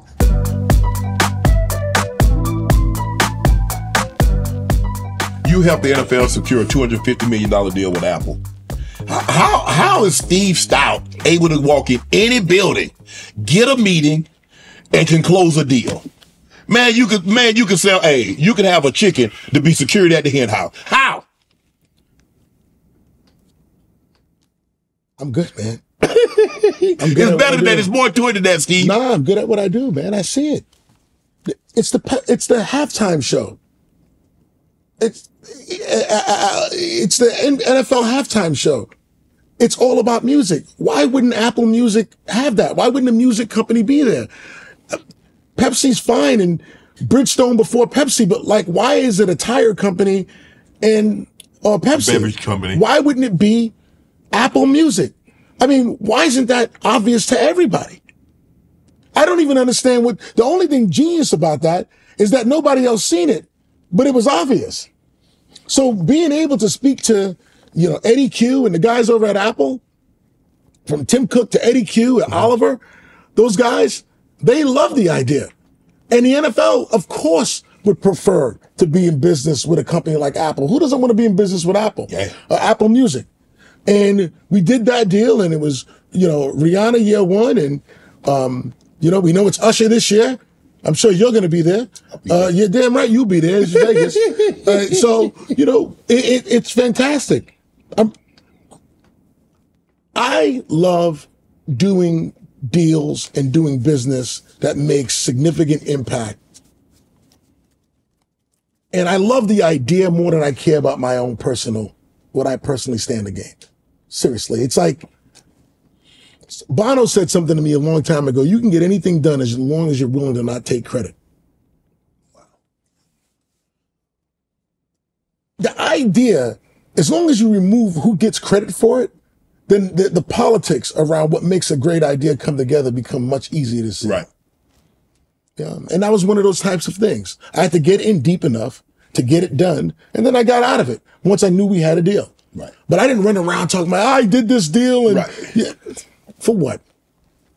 When you, you see where the prices are going for these commercials, seven, eight million dollars for 30 second spots. Yeah. Where, where, where, where we, Steve, where we headed? Are we headed 10, 15 million dollars for a 30, 40, 30 second spot? Yeah. You see where these teams are valued, Yeah. right? Where these teams are valued. The fact of the matter is, man, the top 100 shows on television, 90 of them are NFL, NFL. games. Yeah. And the more it becomes rare to get that level of audience around something, the more they can charge. Because there's nothing else that garners that level of attention Yeah. at one period of time. If you break it down, it's probably the best money spent. Yeah. You got a hundred million, you got a hundred million people watching for three hours. How about this? And oddly enough, wanting to see the commercials. Yes. That one event is the only event where people go, I can't wait to see the commercials. Right. There's nothing else. Every every other thing you're trying to skip the commercial, get You- around the commercial. absolutely This is the perfect time to use the bathroom. Mm-hmm. not the end, not the Super Bowl. Right. That's when people want to watch commercials. So uh, seven, eight million dollars, whatever. And, and and and I think that I think the NBA finals and NBA playoffs, people want to watch these things, man. I would I would charge more. It's the only game in town. It's the only thing live sports dominate television. Yes. They can charge whatever they want. And it's worth it. I mean, it's worth it because the the attention that you get is very hard to cobble putting together a bunch of other different media. It's just very difficult to get. Have you ever commi- uh, uh, uh, created a Super Bowl commercial? Is that something you liked it? Hell yeah. Man, I did a Super Bowl commercial so long ago and the shit blew up and I didn't even realize how big it was. Terry Tate, office linebacker. Yes. Yeah. That's you? Hell yeah. do you remember that? I do remember Terry He just started tackling people in the Yes, office. yes. Yes. I did that for Reebok, man.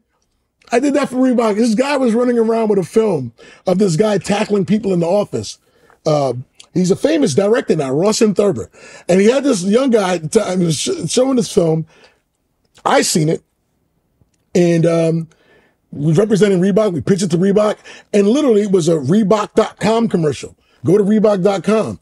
And that thing went crazy. Terry Tate, office linebacker I remember that. we're the agency, the the creative solutions company, uh, as I like to call us, because that's what we do. We solve bigger problems for uh, the NBA. Has been a client of ours for many years. State Farm, all those State Farm commercials that you know, Aaron Rodgers and Chris Paul, and Cliff, Cliff Paul, and Yeah. all that. We've done all that work for years, uh, and now uh, AT and T uh, is one of our clients. It's been our clients for four five years, but. I want to talk to you about because Yeah, we're gonna get into talk about this helmet and the yeah. special. What makes this helmet special? Yeah. What we did here, man, uh, which I'm very proud of, is a lot of times people talk about advertising and it's like selling stuff. Right. But I like to really think about how do you use the power of advertising to tell a story or, or solve problems. And we found out about the story about Gallaudet, which is a school for deaf or hard of Hearing impaired. hearing impaired. There was a time where hearing impaired players actually made it to the pros. There were a few of them made it to the pros. But as technology, I played with one my uh, my second year. Kenny Walker went to the University of Nebraska. He was hearing impaired. So then, perfect. So now what happens is, as you start putting in technology in the helmets, now you can call audibles, and the, if you're playing quarterback or linebacker, you, you you you can't even compete if you're hearing impaired. You can't. So we've seen this problem. We took it to AT and T and the great team over there. Um, they actually wanted to say, how could we help solve this problem using uh, 5G technology? Okay. So what we did was, uh, we worked on this for three years, Shannon. This helmet um, has a special chip here. And this chip allows players who are hard of hearing to actually see the play versus just hearing. it. Right. Right. So the coach takes this and and literally I can put the play in here, flex, uh, yeah, play action, Pittsburgh. Right. So that's the play the coach calls. Right. And I can just put in the audible right here and the audible comes up on this visually. Wow. So the, so the player gets to see this. This is a game changer. We put this on these players. It changed their lives, man. This players saying, I, I got the speed, I got the vision, I got the eyesight, I got everything as a professional athlete. I- just can't hear. Right. I'm hearing impaired. Um, So they they're using this they're now. using this right now, man. They're using this right now. It's one of the most things I'm most proud of that we did that, and we're changing people's lives. So, you know, I, when I say that we are a uh, creative solutions company, that's not advertising, man. Mm-hmm. Right. That's coming up with new ideas that's going to help change people's lives. Right. It's much bigger than advertising. Right. Right. So You're the consultant for the Knicks. You did some work for the uh, to make the Nets cool. Well, I moved the Nets from from Newark to Brooklyn. Right. Right. So we did that very early. I'm also the we also represent the Big Twelve. Yes. Yeah. To make them cool. Yeah. Well, the Big 12, what's going on in college sports is so crazy now because the game, the rules have changed, bro. Yeah, I mean, the NIL. the, the- between NIL deals, between The relocation of the big the relocations of, of every team, it used to be regional. Right? Mm-hmm. Yes. Like you, if you played for the Big East, then you were in the Big, Big East, East, yeah. Man, you could go from there and be there. The, the- the- region, regions don't even matter. A lot of it, I, I, I still think I have a problem with because of what it does to the student athlete. Okay. The fact that you got to travel across the country. How could you even study? Right. How could you actually get your schooling together if you're playing in different time zones? yeah, like that kind of USC. USC, and UCLA coming to the the, the Big Ten. Yeah. How? How that yeah, that's- that's a lot, right? Um, but anyhow, between NIL deals and the fact that these teams are changing conferences so fast, recruiting, materials around recruiting, how you market your teams, how you market your team and your program uh, changes dramatically. Look, man, we at the Big 12, we we just got Colorado, right? You want to have Colorado, Right. Like, it- and I'm sure everybody was pitching Colorado, the AD at Colorado to get them.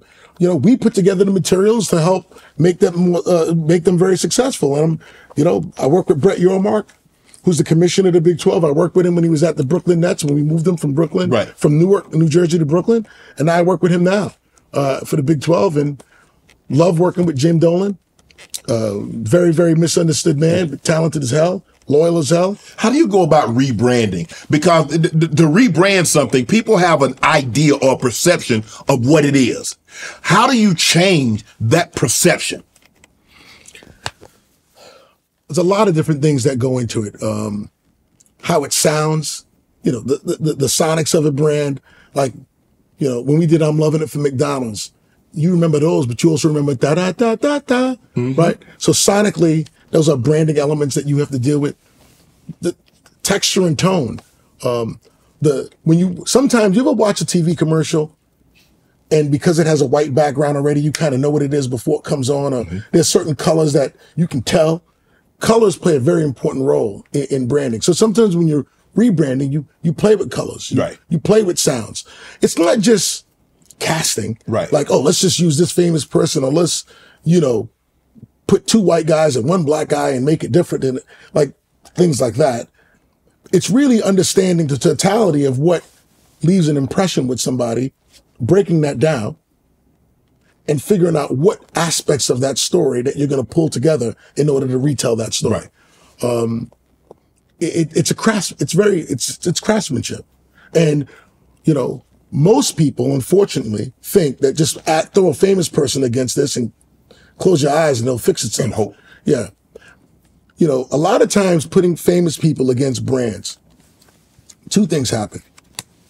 You don't believe it, Right. right? So the, does the celebrity and the brand have shared values? Right. Shared values. What do we have in common so that when people see us together, they go, "Oh, that makes perfect sense," because that's how they rock. Right. So that's successful partnerships around shared values. Or you put them together and they're just expensive ideas that nobody ever believes. Like you put, I used to always use like, you know, back in the days, like who believed that Tiger Woods drove a Buick? you know, like how are we gonna get, how are we gonna get this off? Right. Like, how are we gonna figure this one out? You know? And so there's a, there's a lot of bad ideas like that right now to this very, when you look at it and you're like, are you serious? The other thing I tell a lot of, you know, uh, guys in the music business specifically, because all this brand money is coming at them, is you got to be careful who you choose as a partner.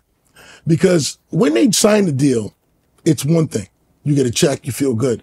But when they fire you for lyrics or fire you for behavior that you was actually doing when they hired you. Correct. But it's really loud now because getting fired is a loud thing. You famous, you got fired, you got let go. Be careful about those people, man. Not, not every check is a good check. Right. And make sure you are going into a partnership with somebody because these brands, I will tell you, man, they will sign you.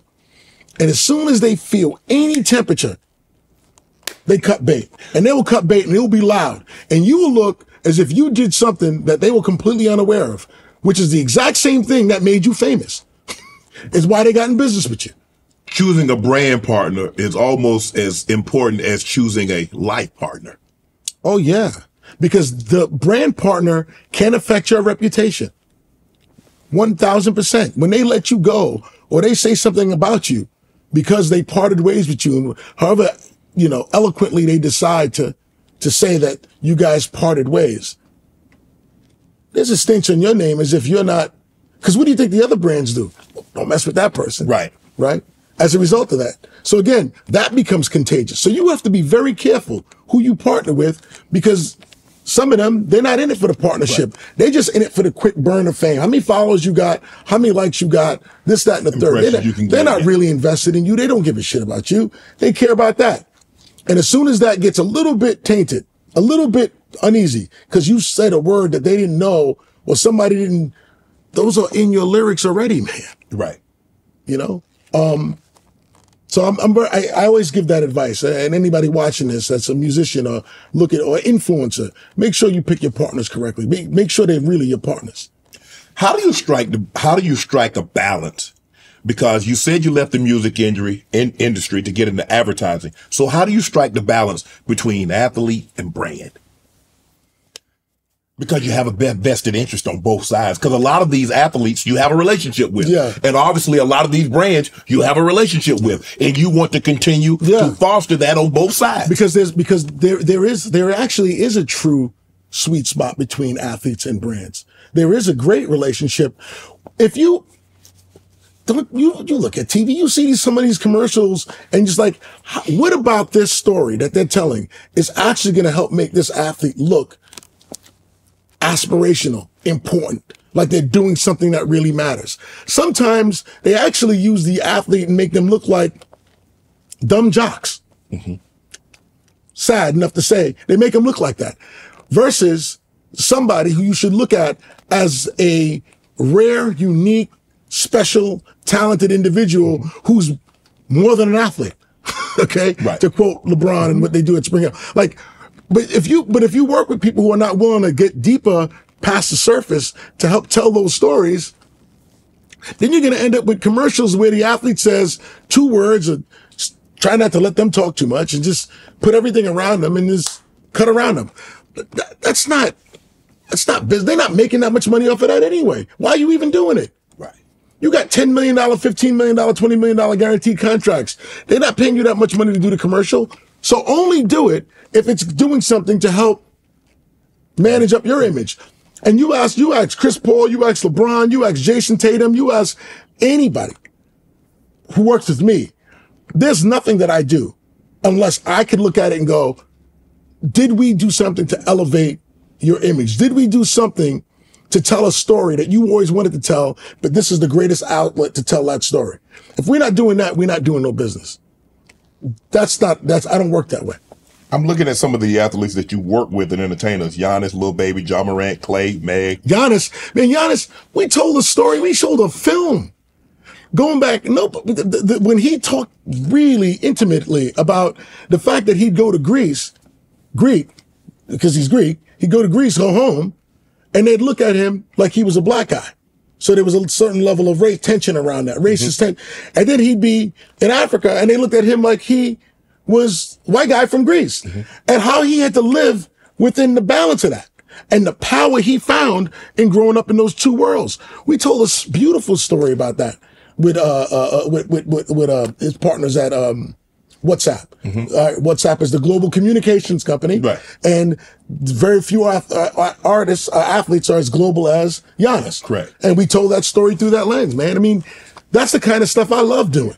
You shouldn't have to worry when you buy tickets to your next big event. Game Time is the fast and easy way to buy tickets for all your sports, music, comedy, and theater events near you. With killer last minute deals, all in prices, views from your seat, and the best price guaranteed. Game Time takes the guesswork out of buying tickets. Game Time is the only ticket app that gives you complete peace of mind with your purchase. See the view from your seat before you buy so you know exactly what to expect when you arrive. All in prices show you the total up front so you know exactly you- you're getting a great deal before you check out. Buy tickets in two seconds with two taps. Take the guesswork out of buying tickets with Game Time. Download the Game Time app, create an account, use the code SHAY Shay for $20 off your first purchase. Terms apply. Again, create an app, redeem the code Shay SHAY for $20 off. Download Game Time today. Last minute tickets, lowest price, guaranteed. I watched you for the last two and a half years. I was just watching Jr. on on the FS1 show. How long you been on that show? Four years. I was there, I was on that show for seven years. Yeah. Uh, we uh, came in together. Uh, Skip started. They we started the show in 2016. It was a great run. It was. a I great watch you on the show, and I watch you get better over time. And when you started getting comfortable and bringing in your all of your natural self to it Yeah. to the table, it was a game changer. Yeah. It was a game changer. Well, that's the thing. When you were sneaking in those lines with the the, Black brown, and yeah. the Black and Milds and all that, and then social media started to pick it up. Yeah. And you know the right delicate balance, which is very hard. The producer Craig Barry is a friend of mine who produces um, Inside the NBA, Inside Right. that, Yeah, that, yep, that yep, show. Yep. And it's that's the magic. How do you get that talk off while still being an expert at the core thing, which is sports? Correct. Correct. Did you think that 50 years that what it started 50 years ago hip hop and you said it was in its infancy when when LL was doing what you know you could go to the mall and you could see LL and you could see Run DMC hanging out in the mall and you could see the battles did you think it would be what it is today I mean you're a great forward no, thinker No, no, no, no, no. Not. I knew what I. I never thought the music would be this big. I knew that the other things around it would be big. Right. Um, the clothing, right um, the style. I never thought the music. I never thought at any point in time it was going to be the number one music in the world. I, I I didn't think that. I remember I used to go to to France. If you do your thing out there, you have no idea what will happen. So I went to Cannes, and um, I seen graffiti, and I was like, when I see graffiti, every time I see graffiti, it makes me think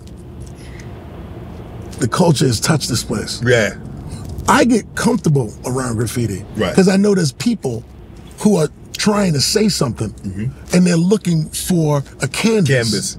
to say it. right I love that. I love that. I've always loved that. You say LL from Queens. I mean, we go. LL was the first. I mean, the, the guy that. That's what you like when you came up? Yeah, man, L was there. You know, look, I love when L and Kool Moe Dee battled. I grew up on. How old are you? 55. I'm 53. All right. So we used to go. But you lived in the rurals. Yeah. And how are you getting the music? I grew up about 65 miles from Savannah, and they would come to the Civic Center. Uh, Kool Moe Dee, uh, the Fat Boys, Run DMC, Whodini. And you went. Of course. Yeah. Yes. Yes. Because L, LL and I are about the same age. Yeah. And so anytime that they were coming to Savannah, we were there. And they had a show, they had Whodini, they had uh LL, they had uh Run DMC. I mean, it was like seven groups. And it was unbelievable. And everybody knew all the words. Every last one of them. LL Cool J was a was a was a I mean is a star. I mean he. I don't he- think he get the credit he deserved though. how he's a Yeah, I no, I'm talking about the commercial, but I'm saying when you talk about great rappers, don't nobody mention L. You know what? L, yeah, you know, it's funny, man. What would he be in sports? I have an argument all the time. This is funny to me. Everybody like there's a certain style Right. that people appreciate more, so they don't give a different version of that Right. approach the same amount of credit. So Right. L was he as great as a lyricist as Rakim or Kane? No. No. Was he a better total package? Absolutely. Yes. That's why he still has a career to this day. He made bad albums. He made bad albums. He made he made really good albums, then he made bad. He used to go through this pattern where he would experiment and make bad albums. He'd probably tell you that the, what was considered a quote unquote bad album was learnings for the album that came after that. That was great. But he was willing to take chances and make big records as a result of it. So he doesn't get the credit for that. But a lot of the guys that do get a lot of credit, you realize had really short careers. Yeah. Really short careers. Yeah. Um, in sports, I use this analogy like, you know, everybody thinks, you know, Mike Tyson is, I mean, obviously Mike Tyson is a larger than life figure. Mike Tyson was probably great for four years. Yes. Yes. Yes. 4 mm-hmm. You know what I'm saying? Yes. Four where you couldn't even touch him. Nope. And then after that, he became whatever affected his life. Right. It all changed. Correct. You know, a lot of these guys who get more credit than LL Cool J as rappers really I mean, had short careers. because if you think about it, Big and Tupac, short careers. What what was Tupac? Five years? Biggie five years? Yeah. If that? Yeah, that's listen, man. You ain't got to tell me. That's why eh, there should be statues of Nas and Jay Z. No, for sure. Stat- these guys who endured Right. the entire. They were there Yeah. before and after. Yes. You know. Yes. To go to to go through the gauntlet of what it was, whether it was East Coast West Coast beef or drugs or drug dealers or just whatever the issues were that comes with being a young man in your 20s and millions of dollars in Right. attention, media attention, global attention. You know, people want to kill you, whatever it may be. Right. To avoid all of that to get to the other side, Yeah. is they should have a monuments. Well, I tell you what, since you you're, you're close to my age, and you you like I said, Big Daddy Kane, KRS One, you know Marley Marl. I mean, you you know you know them all. Uh, M, Hove, Wheezy, Nas. Give me Yeah. your four goats. My, if we had a Mount Rushmore, give yeah, me a yeah, Mount yeah, Rushmore. you, you do this all the time. I man. sure Always do. I sure do. Um, let me see if I have to throw your list out the window. I'm gonna roll this window down. No, it's this is I better it's- throw your list out the window. Well, let me before let me just ask you this question before we get to the list. Okay. Are we factoring in tenure? Because if I just took everybody's best album and to base it off of that, that'd be different than if I yeah, but I don't think I don't. I don't I don't think you can Like say. if I say who's the best running backs of all time, right? Well, you can't say Would that would whoever had the best year because there are a lot of there are a lot of running backs that had better years than ba- uh, had a better year than Emmett had a better year than than Jim Brown had a better year than Walter Payton. But Yeah. that doesn't make. But it it goes into the longevity. Yeah, Yeah. but if I ask people who the best running back of all time is, they don't immediately go to Emmett, who has more. no, no, no, no, no. They're probably none of them probably going to say Emmett. They'll probably say Barry Sanders. Yeah. They'll say Walter Payton. Yeah. They'll say Jim Why? Brown. You know, I, I think it's it's all Barry.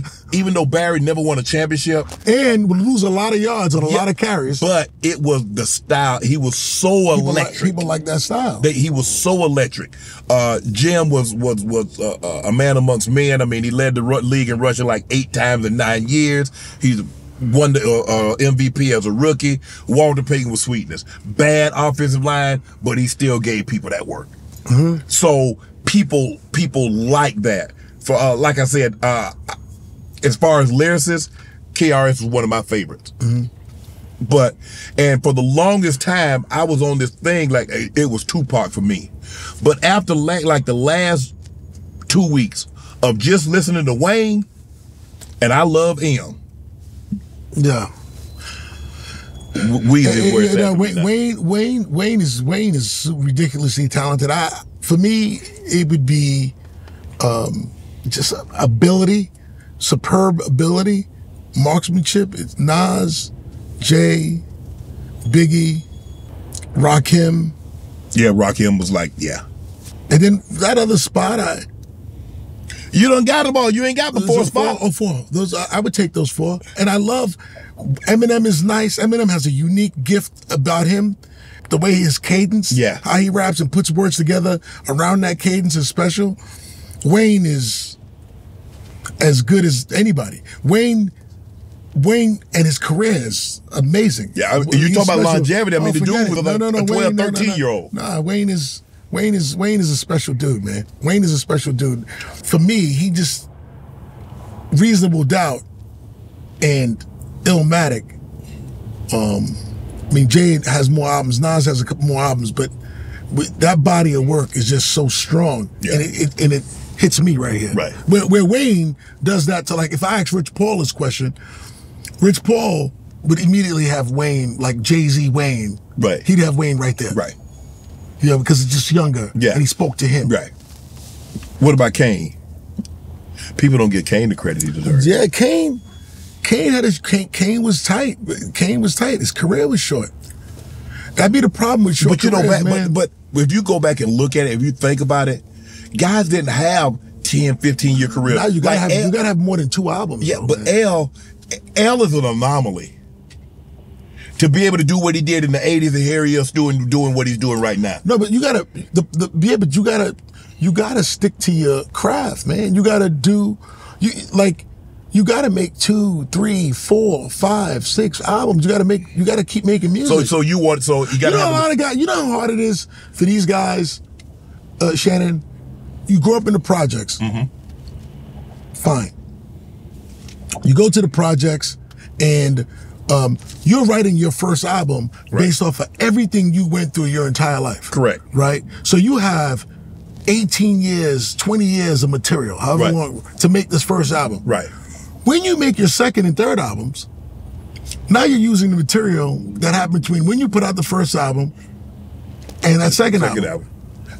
But now there's money, there's women, there's access. So now all of a sudden your material starts to fade Mm-hmm. because you start you're indulging in Yeah. all this other stuff. There's a difference. You don't There's a live that same now you live in, now lifestyle you move to LA. Now you're writing about something else. So a lot of times it's very hard to write that second, third. Second, you can still get away with off the fumes of the first album. Mm-hmm. The third album becomes really hard. Right. Oh, g- forget it. Look, most artists who write the, who had a great first and second album m- fail miserably on the third album. It's so hard to draw from the, the grit that you had before you made the first album. That and then and then now, okay, fine. Can you get back to it now? Right. A lot of times they can't get back to it, and it just slowly, it slowly falls off. LL went back to it. LL made Mama Said Knock You Out. Right. He made all that shit, made this, went like this, and then boom, Mama Said Knock You Out. Right. He came back. Kane didn't make Mama Said Knock You Out. Honestly, Rakim didn't make Mama Said Knock Right. You Out. They couldn't make it. They couldn't find that record seven years later. He said he made Mama Said Knock You Out and Roundaway Girl. Yeah. Oh, and that one he had uh And then he made after years after that, you jingling baby. Uh, be, the, the Jingling Baby remix. and then he made Love You Better after that. He has a phenomenal, phenomenal Hey Lover. Yeah, you know, yeah. Yeah. I, I worked on that album. That was 95. yes. Hey Lover and uh, Doing It Well. Doing that was 95. Oh man. By the way, that's 95. He was dropping records in 87. Yeah, but correct. But 95 came around. I don't even know where Kane and Rakim was. I'm bad. Nah, nah, I'm bad was a little. No, don't do that. Don't do that, Steve. Don't do that. Don't do that. I ain't gonna let you do that now. Come on now. Listen, I'm an LL Cool J fan too.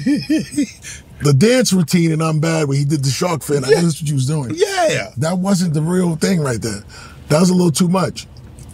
And I'm going back to Cali. By the way, huge record. That's a risk that artist wouldn't take. Listen to that beat. That's a risk that artist wouldn't take. That was on the Less Than Zero soundtrack. That that was that was look at the video, artsy, black and white, very very avant-garde. Like that was way ahead of its time. Those are the risks that those guys wouldn't make. Uh, that he was willing to make. He's a true artist, and he does deserve he does deserve way more credit than he deserves a- as an That's artist. all I wanted you to say. Now Yeah. we can move on to conversation. See. But he was one of the first also to have commercial a- appeal outside of the rap game.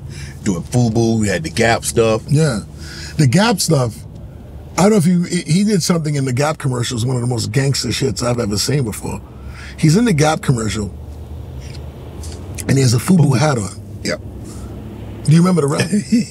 I don't remember, but I, I remember. Let me tell you the rap. Forget. It wasn't that he had the hat on. Like, damn, this nigga's in a Gap commercial with a FUBU hat on. Gap people didn't even know what that was. Right. Whatever that thing was. Right. In the commercial, he raps and says, "For us, by us, on the low." That's in the rap. Right. They don't even know that's what he said. He said, "For us, by us, on the low." In a commercial for the Gap. for the Gap. No, they don't even know what on the low means. They don't even know what for us by us means. Right. They think he's just saying for us by us. Right. I don't know, some rapper shit. Right.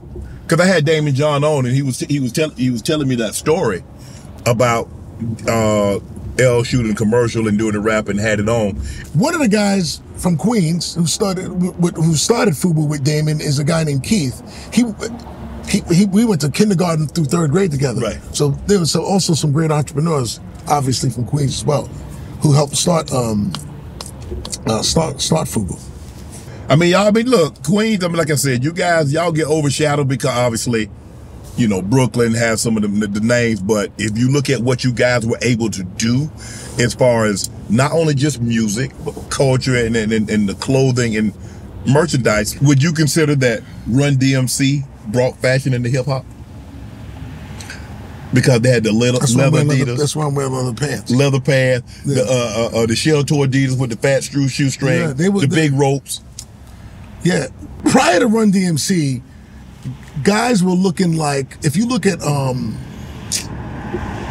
some of the early if even even kind of like Sugar Hill Gang, but after Sugar Hill Gang, Yeah. if you look at Afrika Bambaataa, Yeah. they got they were dressing more like Earth, Wind, and Fire. Yes. like a lot of Mhm. costumes. Yes, yes. And then Run DMC, because of God bless, Jam Master Jay said, let's dress like those D boys. Right. So they dress like the way street guys dress, Right. Mm-hmm. drug dealers would dress. And that's and when they put that look on, yo, With the Kangol. Kangol, shell toe, leather, blazer, this, that, and the third, then they looked like they was just getting that money. Right. It wasn't about that costume. It was a complete uh, left turn from what those guys were doing, and that was that was huge. How big was Supreme? the name says it all, man. I mean, Supreme Team was Queens. They ran the streets of Queens, and there was a they were a presence to not to be fucked with. Right. And um, you know, to me, I, I never, I actually never met Supreme. I seen him before, but he was, you know, a, a big, larger than life figure that that had a, you know, a big organization that were street guys that liked to party, you know, and they were like part of the business, Right. you know. Uh, so yeah, they were big. I mean, they were big. Supreme Team was big. Um, then years later, you know, BMF was big. Right. You know, coming out of Atlanta. What is it about D boys and rap and rap and D boys that seem to be so interwoven? Well, the kids come from the artists are coming from the street. So as a result of the artists coming from the street, the guys that are around them and the guys they idolize, they probably at some point worked for Right. were the street guys. And sometimes the street guys were the first guys to give them money. It was the startup money. Right. You know, go make this music, go Right. into the studio, what have you. And that's a lot what led to, you know, what got them going. So that's that's the con- that's the connection. But the truth of the matter is, even prior to the fact that that was the guys they looked up to uh, and gave the money, that's what the fans wanted. Right. So you were emulating the street guy. So a lot of these guys, very few of them really are street guys, rappers. They were more emulating street guys because that worked with the fans. How have you been able to create the music, the advertising with some of the most successful companies in the world? You started in the music business. Yeah. You transitioned to the advertising and you work with a lot of these Fortune 500 companies. How have you been able to transition and parlay that, your music, your advertising, and with some of these Fortune 500 companies? How have you been able to do that so successfully? Early on, it was hard. It was hard for two reasons. I wasn't necessarily good at it. Uh, I, I didn't. I didn't go to college and I dropped out of college. So I didn't have any formal training and the credibility that comes with that formalized training to go into Fortune 500 companies and be like, this is what you should do. And then the second thing is the thing I was trying to recommend them doing was really tapping into culture. And the culture that I was leaning on was hip hop culture. And that was tainted with gangsters and all kinds of reputational issues. So you got me coming in with no formal training and talking about something that is related to something that they don't even think is brand f- friendly. Um, and then I would say, you know, to the CEO, because I'm really good at with talking to people. So I'd speak to the CEO and I'm like, ask your 17 year old at home about this. Because if they had a teenager at home, I'm going to win. And I would speak to them about things that I knew was not necessarily on their radar screen, but it was the next generation's concern, next generation's something they celebrated.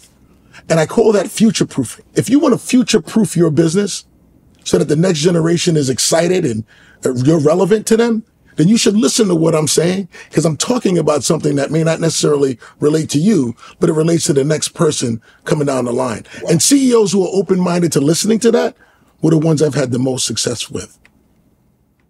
And their business has benefited.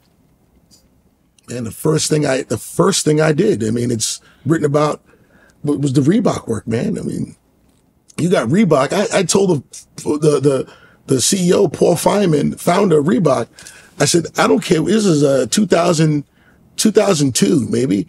I said to Paul, I said, Paul, there's nothing you can do to make kids believe they can jump higher or run faster in a pair of Reeboks over a pair of Nikes. There's no chance. That take that idea that you're gonna beat them at that game completely out of your mind. So then he started talking further. He he was intrigued by that, by the certainty I had with that belief. And he started talking about brown shoes. I'm like, why do you say brown shoes? He goes, because people wear brown shoes to work.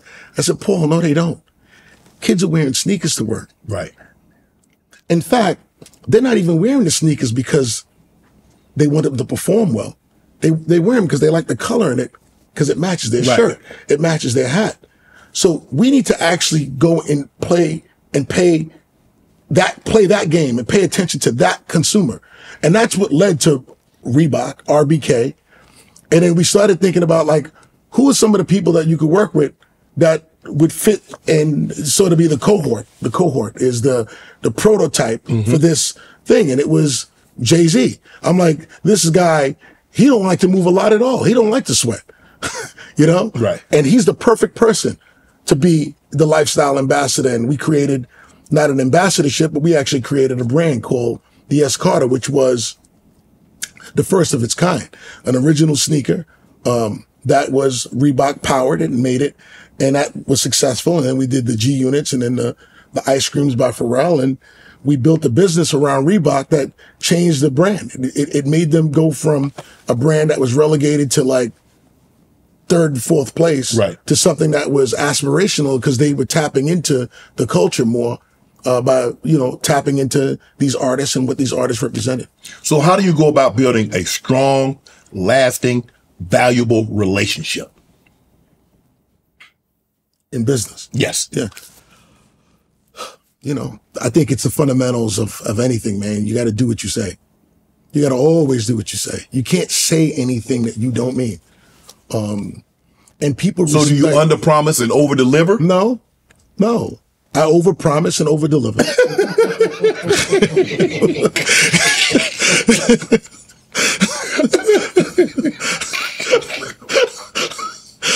So you over promise. You tell people you're gonna do something, Yeah. and then you times it. Yeah. Yeah. It's the same thing. You, you push yourself. If I tell you I'm going to do something, it, it means so much to me to live up to my word. I'll ask somebody when I hire them, six months later, eight months later, did I tell you anything in that interview process that I haven't done? I want to check myself on that. I want to hold the mirror up to myself specifically on that topic because I don't want to use my brain as a weapon and tell you something and be convincing to you and actually have no intent or don't follow through on it. I just think that that's a terrible use of talent. Right. So I do talk about my stretch goals. Which is the overpromise. I'm going to do this. We're going to do this. We're going to do that. But I'm an entrepreneur. I'm a visionary. As a visionary, your job is to see things that before other people see it. Correct. I'm used to being in that uncomfortable place mm-hmm. of seeing something early. So I make those promises and, and, and, I do everything I can to over deliver against that. The funniest thing is that you guys don't get penalized for being wrong. you get wrong, get no problem. All you guys shitted on Jalen Hurts. But he had, but you don't think he's improved? Like he did lose his job at Alabama because he couldn't throw consistently. That's why Tua got the job. Yeah. But but they thought but even in the pros, If you look at him from his rookie year to where he is now, he's increased his throwing percentage by 10%. That's huge. his accuracy. Yes. Yes. You said 10%? 10.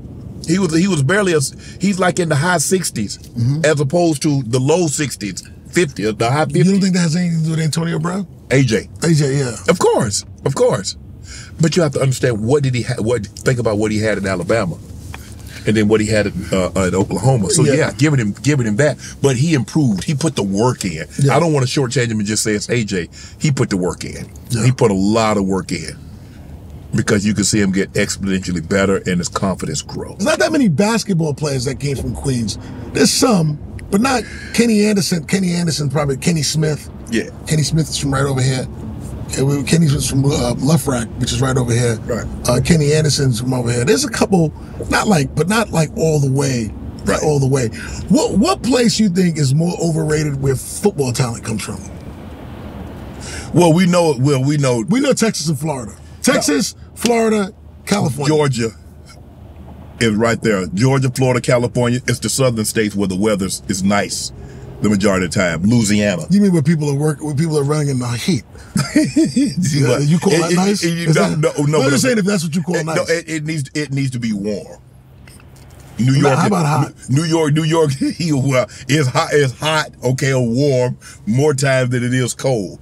You're not gonna get. uh, You might get one or two from New York or some cold. Saquon, like Saquon's from New Jersey. Yeah.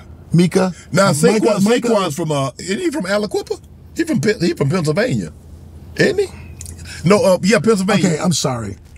That's not the South. No, but I'm saying you. No, I'm talking about the South. I'm talking about the New York. I'm talking about this area. That's all. Man, y'all ain't got no man. Y'all, you Michael, talking- hello, Mike- Micah Parsons Parsons, yeah, he's from New Jersey. He's from Harrisburg. He's Okay. from Harrisburg. Bro, The, do you the- do you the, do the, we- the weather's not nice in these places. Bro, you let- just bro. named two places where it's not nice. I'm trying Bro, to figure out what you're y'all got about. like four people in the NFL. Georgia got like 30. California and Texas got like I'm not 50. even. The, last thing I'm doing is comparing New York football, yeah. We give y'all we give y'all a little basketball problem. but not, not a little. I Little mean, New York basketball. no, no, player. no, no, no. Y'all used to have that. When y'all had Dr. J, Kareem, and all those guys, it ain't the same no more. Where, where does Kyrie come from? It ain't the same no more. Where does Kyrie come from? Where does Kyrie come from? I mean, it ain't the same. No. It ain't the same. It ain't the same. No, it's not the same. Because What- you know, because now guys, with- the guys go, they go to other, they go. I mean, they might be born from here, but you know, they go now. They go play to Mount go, they go to Oak Hill, and they go to things like that, Yeah. and finish the IMG Academy and things Yeah, like that nature. Guys are not being from an area playing at a high school, like okay, and, and moving on. That that ain't happening no more. What do you think about the transfer portal and what it's going to do to college sports? Man, I don't know if you. And, and, and, and what do you think? It, and it's right next to that is as much as I'm so for college athletes getting their fair share. Right. LeBron and I and Maverick did a documentary on this. Did a show thing on, called uh, Student Athlete. Right. Um, we followed four student athletes. Man, one of them got hurt, no health care, Yeah. fucked up, the whole thing. But guy walking around campus with five million dollars. Yeah, for sure. Because there's no guarantee, like you said, he get hurt, and then he can't play in the NFL or he can't play in the NBA. Yeah. Well, he got five million dollars. He got a great head start on life. Get it?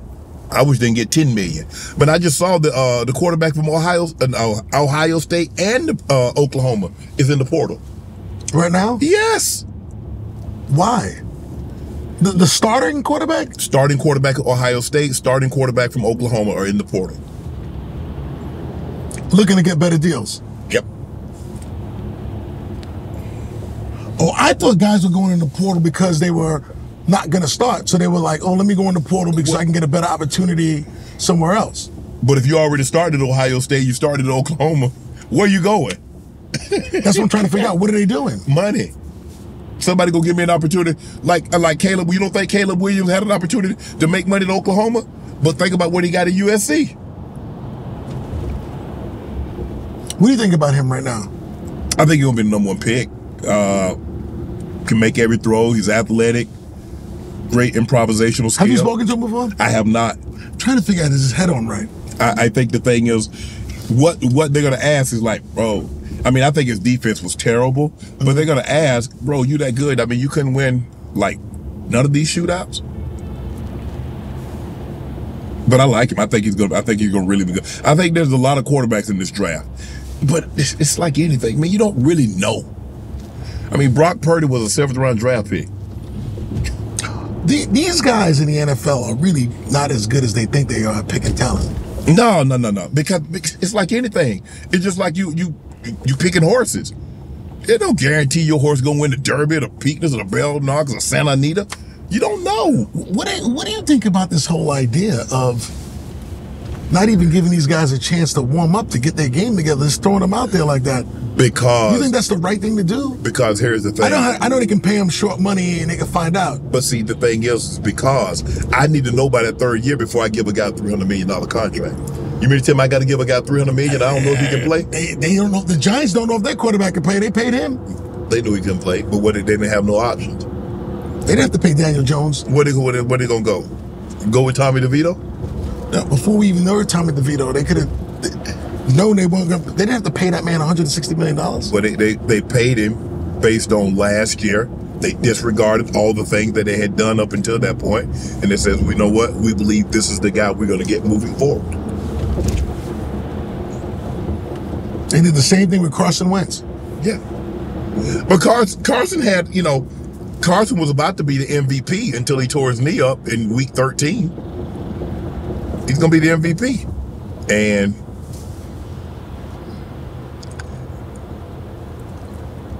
but it it, it it it it's a special type of quarterback that's good, get paid, and then get better. You look at the Brady's, the Mannings, you know, you look at the Patrick Mahomes, you look at those guys, uh, the Rodgers, the, those guys that Roger. Aaron Rodgers, Oh, when Aaron- he- oh, yeah, when he was Oh, in Green Bay, Yeah. Get paid, excuse me, and get better. Dak. Yeah, Dak Dak has been very impressive this year. He's been very impressive this year. But uh, Are you know- watching the games? Yeah, I am watching the game. Have you watched? Every single play. Okay. So you watched it for seven, eight years, right? Yes. So okay, so you know the history, right? Yeah. Okay. I. I I yeah. He I have not he in big games I have not seen him Okay. against the 49ers 2 years ago, against the 49ers last year. And the year before that, I said 2 years ago. That would be 2 years ago. they played. They 49ers beat them twice, back to back I, I years in the playoffs. I just said 2 years last year and the year before. Okay, what about this year, the regular season? Did you see that game, 42-10? Did you watch that game? Yeah. I don't know. I understand why you would turn it off. I didn't understand that game. What you what didn't you understand? You understand good old fashioned ass whipping? I don't understand why the defense could not slow them down. I don't know why the def- the Dallas defense got Well, why your offense couldn't score, but ten points. You just talked. That you just talked I know, I know, I know, I know, I know, I know. You just I told me about Dak. the, the Dak CeeDee thing wasn't working back then. It's on fire right now. Okay. We're gonna see him in the playoffs. Um, but yeah, we we now we that was a that that's listen. I'm not. I, I don't disagree with you. Dak makes really bad mistake. I, I it's shocking to me sometimes. He shocking. Huh? you don't even like Brock Purdy. I, it's not about like or dislike. I gotta evaluate a guy on what I've seen. Kind of like I, him now. I need I need to see more consistency. You making your girl? You make, He's one- he's you one- you making your, you making a uh, you making a chick your girl after after a couple of dates? No. Oh, you want to see you want some consistency? You want to see? Okay, Yeah, yeah, yeah. Okay, that's what Yeah. I'm saying. You think Justin Fields they can get a third round pick for him? yeah, I think they get more than a third. Then they're in great shape. Then Yeah, they're in great shape. Would you trade him?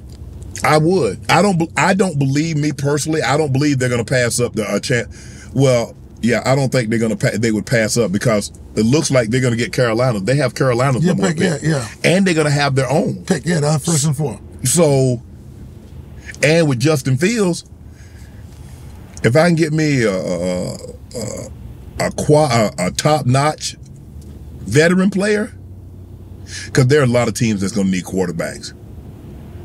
I just think Justin Fields needs a change of scenery. Yeah. I don't think he's a bad quarterback. Neither do I. I just think he needs a change of scenery in Chicago. Indy. They got they just drafted a Richardson with the fourth pick Oh, in the that's right. draft. He got hurt. That's right. That's right. He was playing good too. But uh let me see who who the uh the Raiders could use a quarterback. You don't think the Raiders could use Hell a quarterback? Pittsburgh could use a quarterback. They don't want to agree with that yet. Um They're still in denial about that kid. who? Pickett. Man, please. The fans about to start picketing. I'm gonna ask you a question that's separate of, of topic. Okay. When you got to Baltimore, Yes.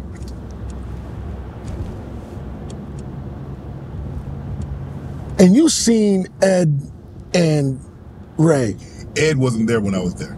he came after you. He came after me. He came after I had went back to Denver. Oh, so you never got a chance to play with I never got to play. I played against him. I didn't play with him. You played him against him when you were in Denver. Yes. Have you ever seen anybody like that? No. No. He's the greatest safety ever. I played against, took off on film. He's phenomenal. Peyton Manning tells stories. He told the story on the the the the, the, ManningCast? the not the ManningCast. He told the story on when the NFL did the hundred greatest. Oh, yeah, yeah. He told the story, but How Ed picked him? Ed picked him. He well Ed Ed hid in the shadows of uh, Lucas Stadium in the oil in Lucas Oil Stadium. He, that he couldn't count him. He couldn't he couldn't find him on the he couldn't find him in a pre-snap read, and that was oh he told me that story live Right. that he couldn't find him and he he he, he couldn't find him in a pre wasn't the other safety white I'm not. when I'm Ed was there, there was a white safety. It was a, Yeah. Yeah. Because he, told the story that he could see that guy, but he couldn't find Ed. He couldn't know where Ed was, and Ed was squatting in the shadows, almost like he knew where the shadow was, and he couldn't fucking find him. Then he told a story where Ed he, he fooled Ed fooled him that on was, the, on was, the post that, corner. was, that was in Baltimore. And Ed, Ed, what he did, it was that Peyton looked him off, and Ed pretended like he was going to drop one side and did Turn around, yeah. and Took off. and picked the ball off from uh, Reggie Wayne. yeah. You have to. It's, it's one of the greatest plays that you'll ever see, and you have to understand what he did and how he did it to fool that guy. Because Peyton just knew he had him dead to right, like I got him, and, and probably Peyton. You seen the play? I saw the play. I saw the play at the time that it happened, and it was the, like I'm like, how, why? There was no, there was no indication that he should have done what he did. And how about Ray? Ray was a student of the game. He was ferocious. He loved the game of football. He put time in it to be great. He worked hard. He was a student. He's very disciplined. I spent time with him. I, I love hanging out with him. Yeah. Yeah. I'm actually going to uh, Zamunda. I'm going to Nigeria Oh, yeah. uh, next week. Yeah, we, we are opening up United Masters in, in Lagos, Nigeria. I can't wait to go. I can't wait to go. Um, I'm really excited about it. Uh, the independent music scene in Nigeria Right. and uh, South America, specifically Colombia Right. and Argentina, is going crazy. Wow. Because all these people, they don't know of record companies. Right. They just know make music, get it out Right. and That's they're writing they're writing monster hits. Yeah, but except these songs are becoming number one records. Wow. They're not they're not they're not just like regional songs. Right. They're becoming global, impactful, monster number one records. Wow. Jay mentioned you in a song. Think you get Jay to put me on a song? I want to be on a song, man. I ain't never been on a song. Man, you don't need to I ain't be been in in no video. I ain't been nothing, man. You hot You already. cool life, man. Nah, you hot already. You crazy? You don't need to be in no song. I don't man. need a song. Shannon I Sharpe. want Wayne. Somebody ref- somebody said Shannon Sharpe or something. I'm sure if I Google Shannon Sharpe in the song, I'll find some I, shit. I hated those songs, bro. Steve, I want to thank you for bringing me to your office, showing me around Queens. I really appreciate it. Continued success. Yeah. Steve Stoute, ladies and gentlemen. all my life. Been grinding all my life. Sacrifice, hustle, pay the price. Want a slice, got to roll the dice. That's why all my life I've been grinding all my life. Look, all my life, been grinding all my life.